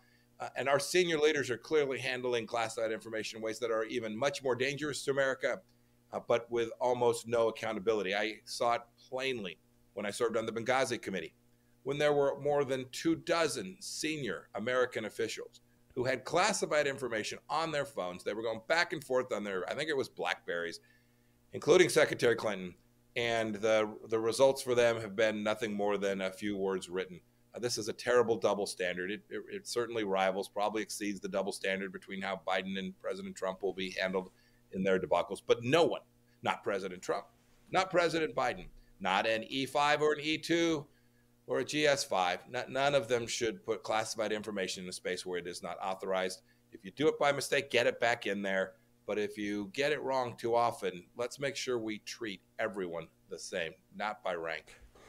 Uh, yeah, Mr. Secretary, before you were out of high school, I had TSI clearances at DOJ, but I had three rules told me on day one. Number one, if you leave it on your desk, you'll be disciplined. Number two, if you take it home, you'll be fired. And number three, if you give it to anyone, you'll be prosecuted. Are those still the rules? That was long ago. That was in the Reagan years. Are those still the rules? They are. Sadly, Hugh, they are applied very unevenly. Uh, look, we, we all know uh, senior executive branch officials are, are, have stuff in SCIFs that are in their house. They're doing a lot of work 24 7 around the clock. But there are rules, detailed rules for how this information is handled. You have staff to make sure that you're able to comply with them. Uh, and clearly, we've got senior officials who just haven't taken this sufficiently seriously, and accountability mechanisms simply, they, they, frankly, they just don't exist. What do you think President Biden took to his garage, Mr. Secretary? Oh, goodness. I don't know. Um, I'll, I'll, bet he does, in spite of the fact he tells us that he doesn't. And you, I'll, I'll, be the first to admit that there are times that There's things that classified that, yeah, you know, so be it. But it's classified, right? The, the reason I submitted my book, Never Give an Inch, for review wasn't because I thought the world ended if a particular piece of data got out there. Eh, oftentimes it wouldn't. But there was a decision made, a process made that said, no, we're going to try and secure this information. And for me, as a former soldier, that classified information protects our operatives around the world, our Marines in Okinawa, our soldiers that are stationed throughout the world. This information was classified through a decision making process and a reason. And so I don't know what President Biden had there. It clearly was classified. Um, we ought to all figure out how to hold senior leaders accountable when they make such egregious mistakes. To have this stuff in a, a garage that was clearly marked classified. I, I get it. Sometimes it's hard with an unmarked document to know exactly what level of classification. I, am willing to uh, explore that, but there's just simply no excuse for having marked documents in a space uh, and do it in a way that President Biden clearly appears to have done.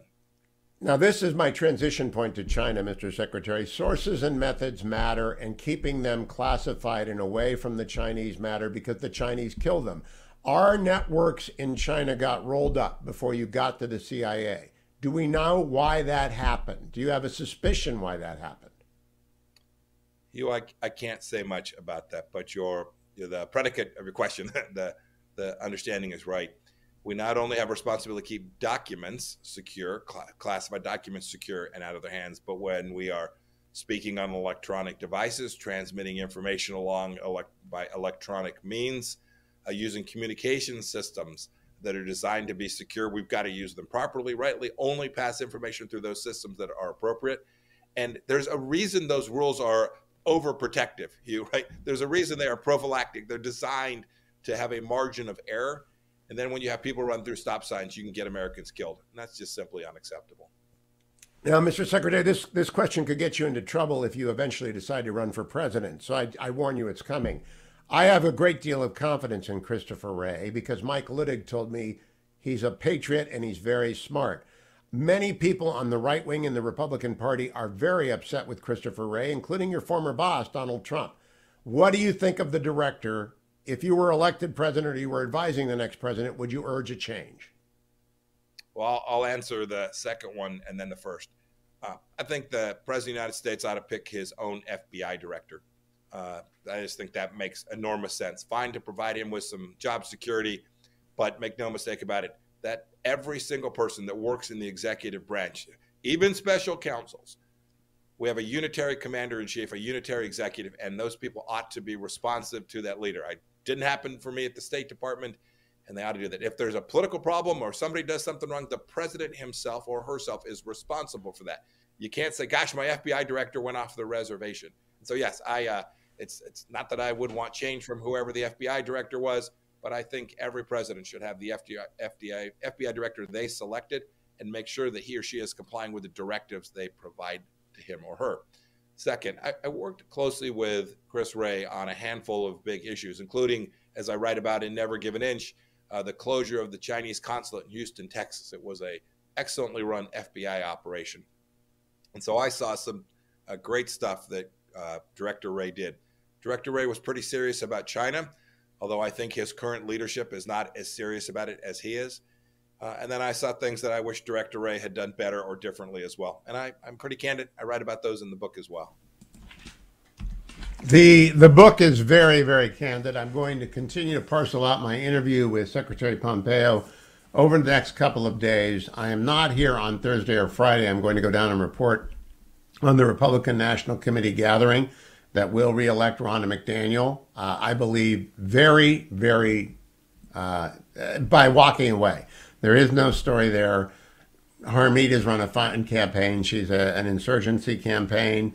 She's going to get a couple of dozen votes. That's fine. But Ronna McDaniel's going to win, and Ronna McDaniel has an organization in place, and they're going to roll it out. And I want to go see what the mood is, not merely among the 168 members of the Republican National Committee who will be reelecting Ronna McDaniel, but among the press that's covering, there may be a lot of us there from the press. We're credentialed and and we get in. I want to make as many events. If there's a Harmeet Dillon reception, I'll go. If there's a Ron McDaniel reception, I'll go. Happy to talk to anyone about my views. I am a party man. The Grand Old Pod is, uh, I began that as a special project. I've got enough to do. It's not like I don't have enough to do, but I started a new pod because Republicans need news from Republicans about Republicans, not from the left. And the one thing I will be arguing for, and there's one, I'm going to buttonhole Shawn Steel's a great member of the RNC. Shawn's been around for a long, long time. I've known him for a long, long time. I know his wife, Congresswoman Michelle Steel. I'm going to buttonhole everyone I know and say, watch the media narrative on the debt limit debate, the negotiations, and if that is not covered fairly, do not give them a debate. Tell them that. We're watching because it's a it's a very there's a 2011 predicate. President Obama was facing a newly elected Republican House, um, and he said to them, "Let's come reason together about the budget because we've got a huge debt. It's gotten much bigger since then. That was the debt from." uh, 9/11 in 2008. Then we've added on the COVID debt and deficit spending for Joe Biden's Green New Deal and infrastructure deal and the inflation reduction. Joe Biden spent like four trillion dollars in two years, and so we got a 33 trillion dollar debt, and we have to raise the debt limit, and we will. We're not going to default, but the Republicans have got to make known their three asks, their demands, and lay them on the table, and then the RNC has got to watch and see whether anyone covers them fairly. And if they do not get covered fairly, do not let those networks. I wouldn't, I actually have very, I'm not an optimist about changing legacy media. They have a couple of token people here and there. They fire them when they get actually uh, vocal about, uh, like Rick Santorum got fired from CNN when he was vocal in defending Donald Trump. They don't want 48% of the country to be covered. They just don't want 48% of the country to be covered. Let me go and play for you, if I can, very quickly. Um, Morning Joe giving a pass to the president's spokesperson Cut number eight, uh, the, the lawyer from the White House won't rule out there being more classified documents out there. The president's personal lawyers and DOJ are in communication, and they're making sure that they're coordinated on the next steps of this investigation. Look, we're going to be really careful not to talk about potential future steps and developments in the investigation itself because we respect the independence of DOJ to conduct this thoroughly and fairly on their own accord. And so I'm just not going to get ahead sure, of that. Sure, that's why they're not going to talk about it. That's exactly why they're not going to talk about it. They're not going to talk about it because the president is infirm and can't answer a question for which he doesn't have a note in front of him. People understand that. I'll be right back. Final segment of today's Hugh Hewitt Show is straight ahead with Richard Haass. Stay with me. Portions of the Hugh Hewitt Show are brought to you in part by consumersresearch.org.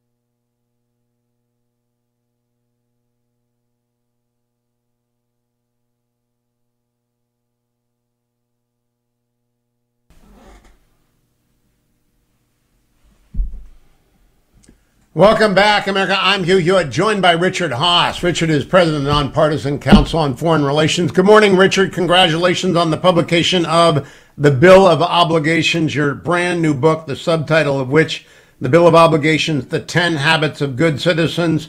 Welcome. How's the Bill of Obligations launching? Good morning. How you doing? Long time no talk. It's uh it's flying, so we'll see how it does. I think it's struck a moment where a lot of Americans know there's there's something wrong and they're looking for uh, some answers. So hopefully they'll find a few. Well, I've been teaching con law for 25 years, and you're not a lawyer, but you do a good job with the Bill of Rights and its origin. I compliment you on that. My favorite chapter is on remaining civil, and I'm going to go there. But I want to ask you a tough question out of the box. You are um, Manhattan Beltway Media Elite. Everybody knows it. Policy Planning Director, Morning Joe, New York and DC are your world. What have you done at the Council on Foreign Relations in the last two years since Trump left to make it more representative of red state America opinion and feelings? We've been doing a couple of things in a long predated Donald Trump. Uh, probably over 10 years ago, we decided that we needed to get outside our traditional role, just talking to people who had chosen to be part of the foreign policy conversation, our members and others. So we have started all sorts of programs. We have become, I believe, the largest educational institution in the United States teaching Americans about the world, what we call global literacy. We have uh, an entire curriculum up for free online, World 101. We have all sorts of other teaching resources for elementary schools, some that we do with iCivics, for high schools, and for, for colleges and universities.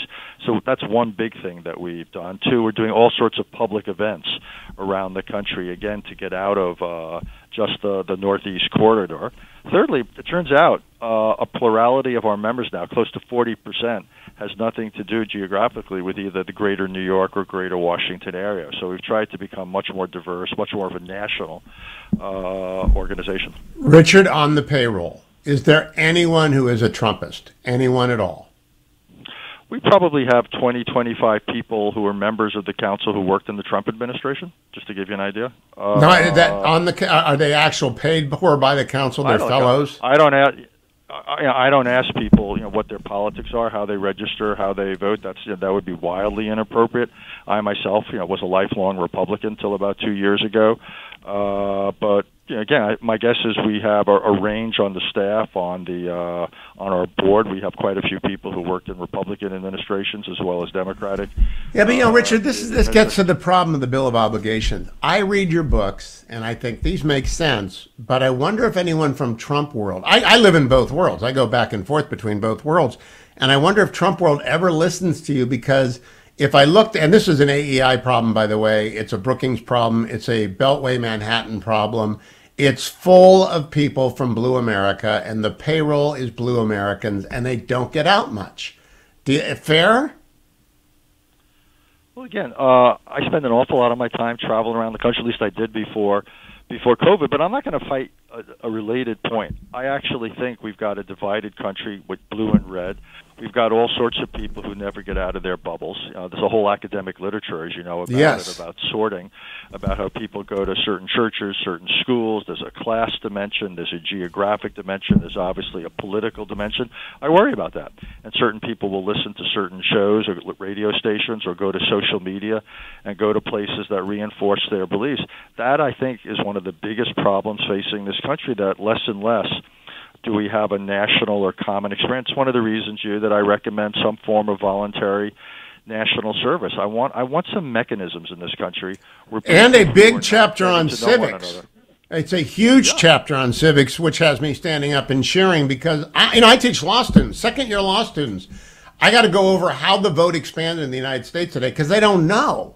Uh, exactly. I mean, it's it's ridiculous, Richard. They do not know. No, that's one of the things I've learned the last few years is don't assume anything. People don't know, and it's not surprising they don't know. Very few parents are equipped to teach them. The media doesn't cover it; it's too busy covering the latest news or whatever else it's it's doing.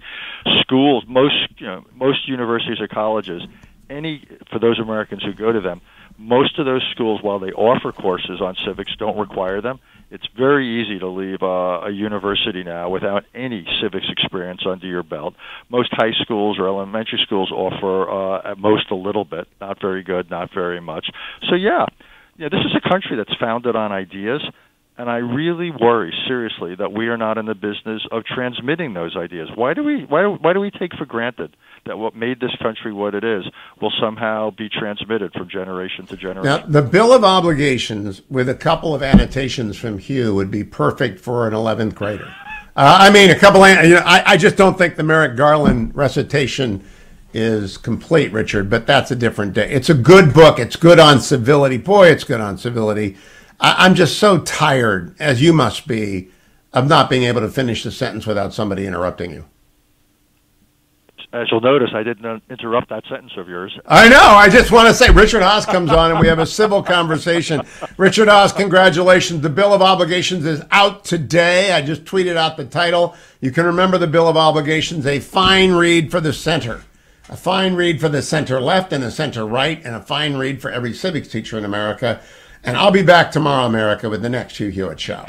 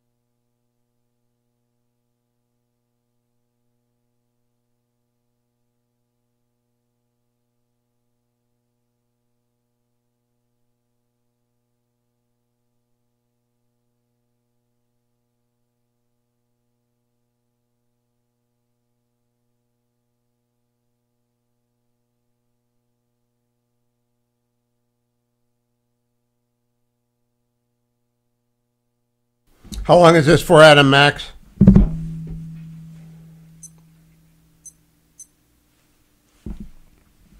No, I just, I just don't want to go long.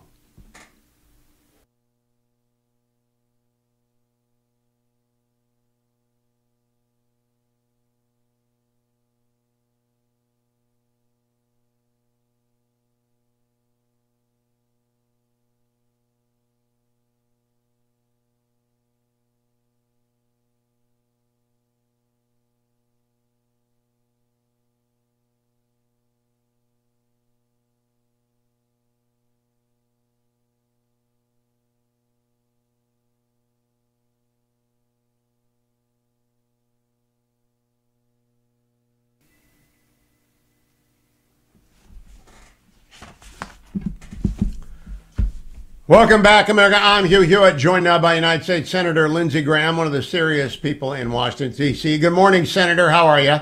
Good. The bar is low to be serious. Well, I know, but it, you're above it. I want to talk mostly about tanks. But before I begin, I want to talk about a Washington Post column I wrote in Tuesday's paper about Mike Pompeo calling for action vis-a-vis the ungoverned spaces in Mexico from which the cartels are station, staging. And then Representative Crenshaw and Representative Waltz have fired a draft, uh, filed a draft AUMF in the House to authorize the president to use strikes against these cartels. What do you think, Lindsey Graham, about You know, Pompeo and these guys? Okay, number one, what's the threat level? It's high, right? Yes. Uh, the fentanyl coming across the border from Mexico, 14,000 pounds, enough to kill every man, woman, and child on the planet, pretty much.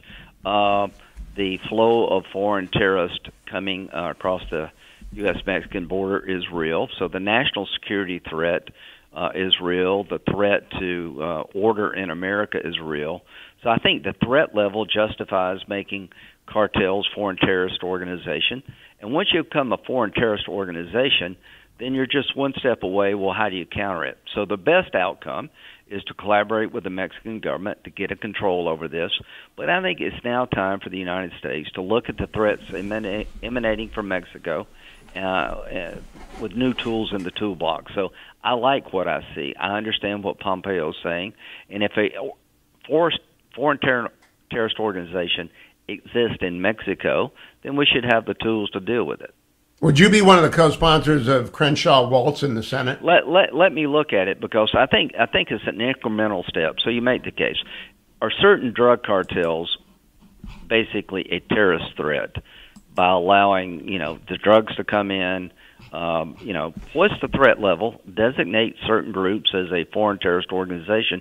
Once you do that, then you're set the predicate for using whatever force, law enforcement wise, military force as a last resort to protect the homeland. The goal is to protect the homeland. And the question for our Mexican friends are you a threat by the way you govern your country to our homeland? The answer is yes. All right, now let's move to governing another threat tanks to Ukraine. I do not know why we do not have Abrams tanks on a carrier to Ukraine today. I know why the Germans are doing this because the Germans don't want to lose their gas and they're corrupt. But I do not understand why we are screwing around, Senator Graham. What is the situation? They need tanks. Well, I know why we're screwing around. The Biden administration has yet to embrace the following goal give Ukraine whatever they need militarily to dislodge the Russians from Ukraine by use of force.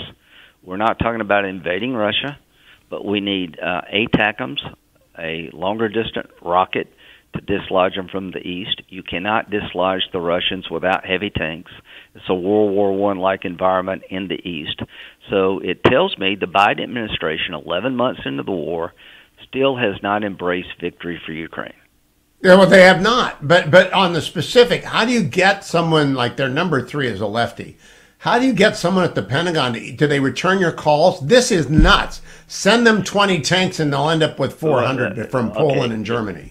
if you send a platoon of tanks, okay, the Challenger tank has a rifled barrel. Barrel is probably not the best fit, but the British sent the tanks to lead from the front to allow others to cover to give tanks.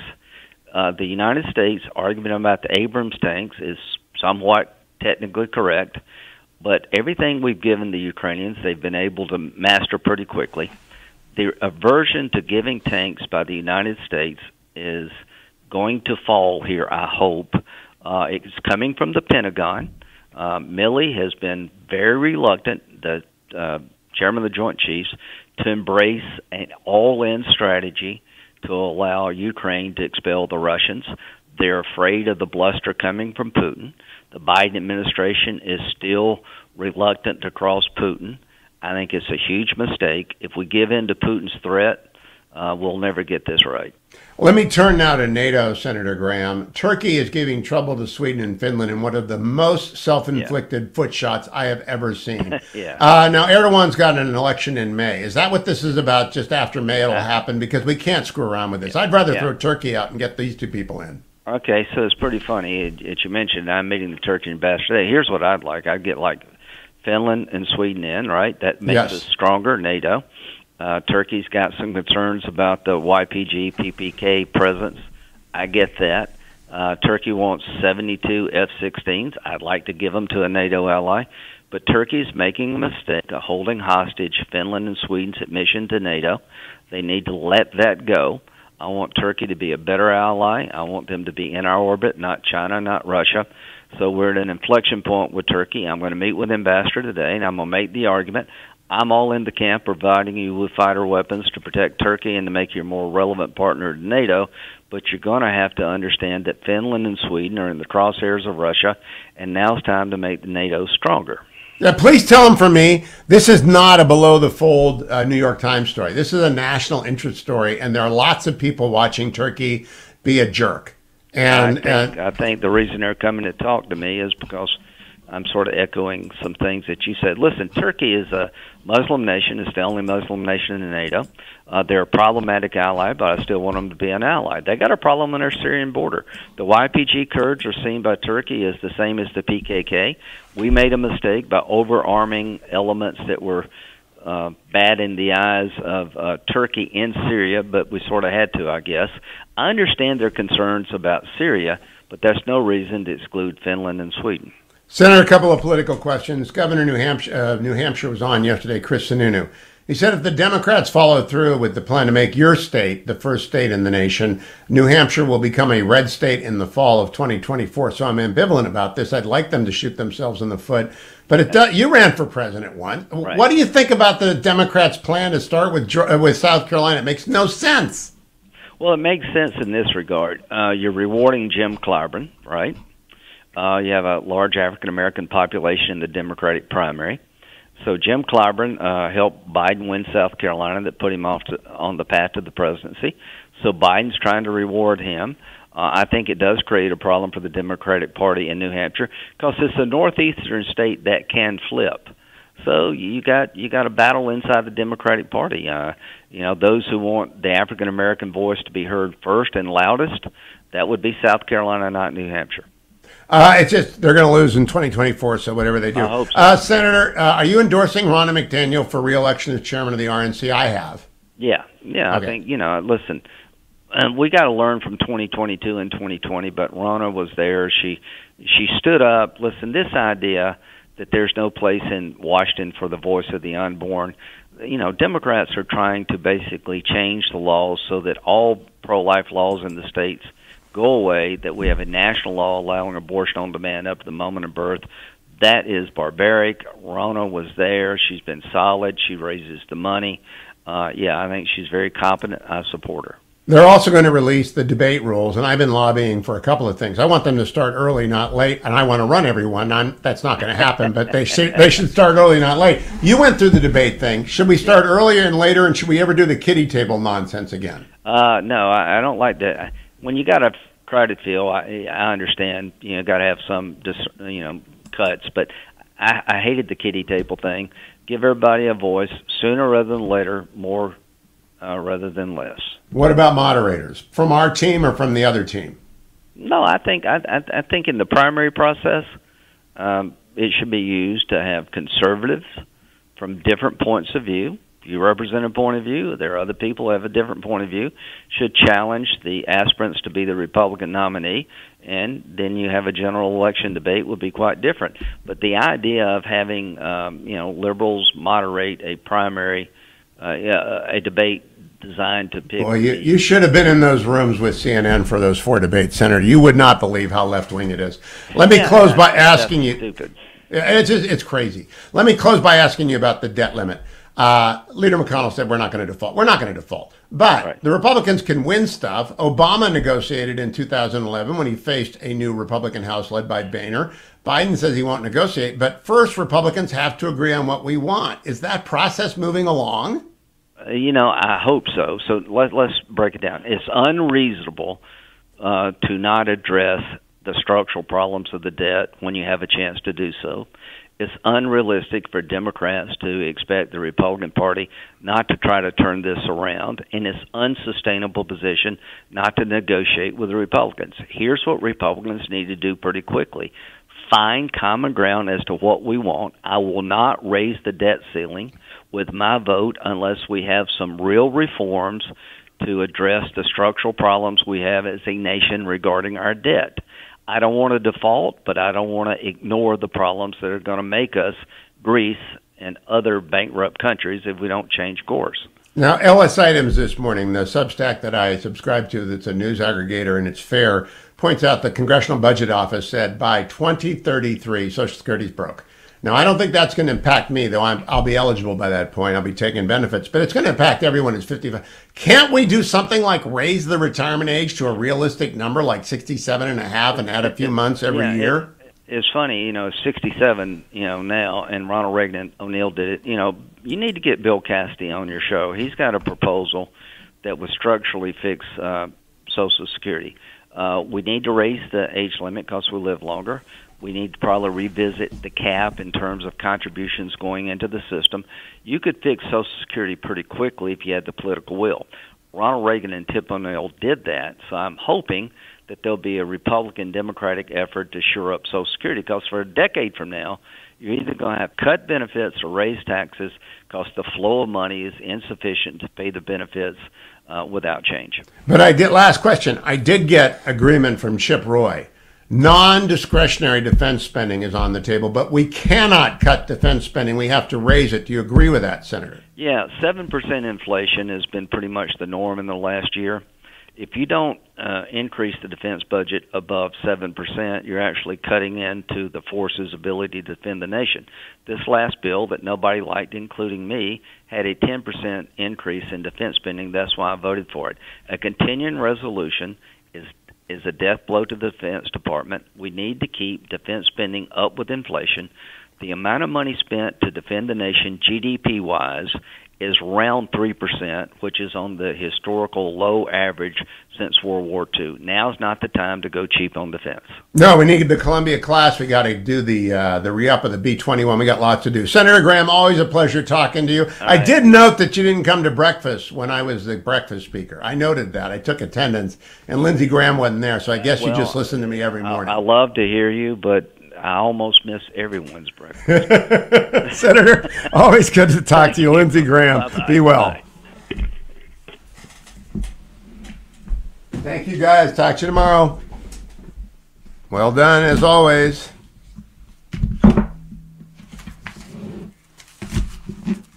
No, but I would like it up tomorrow morning because he makes a little news there.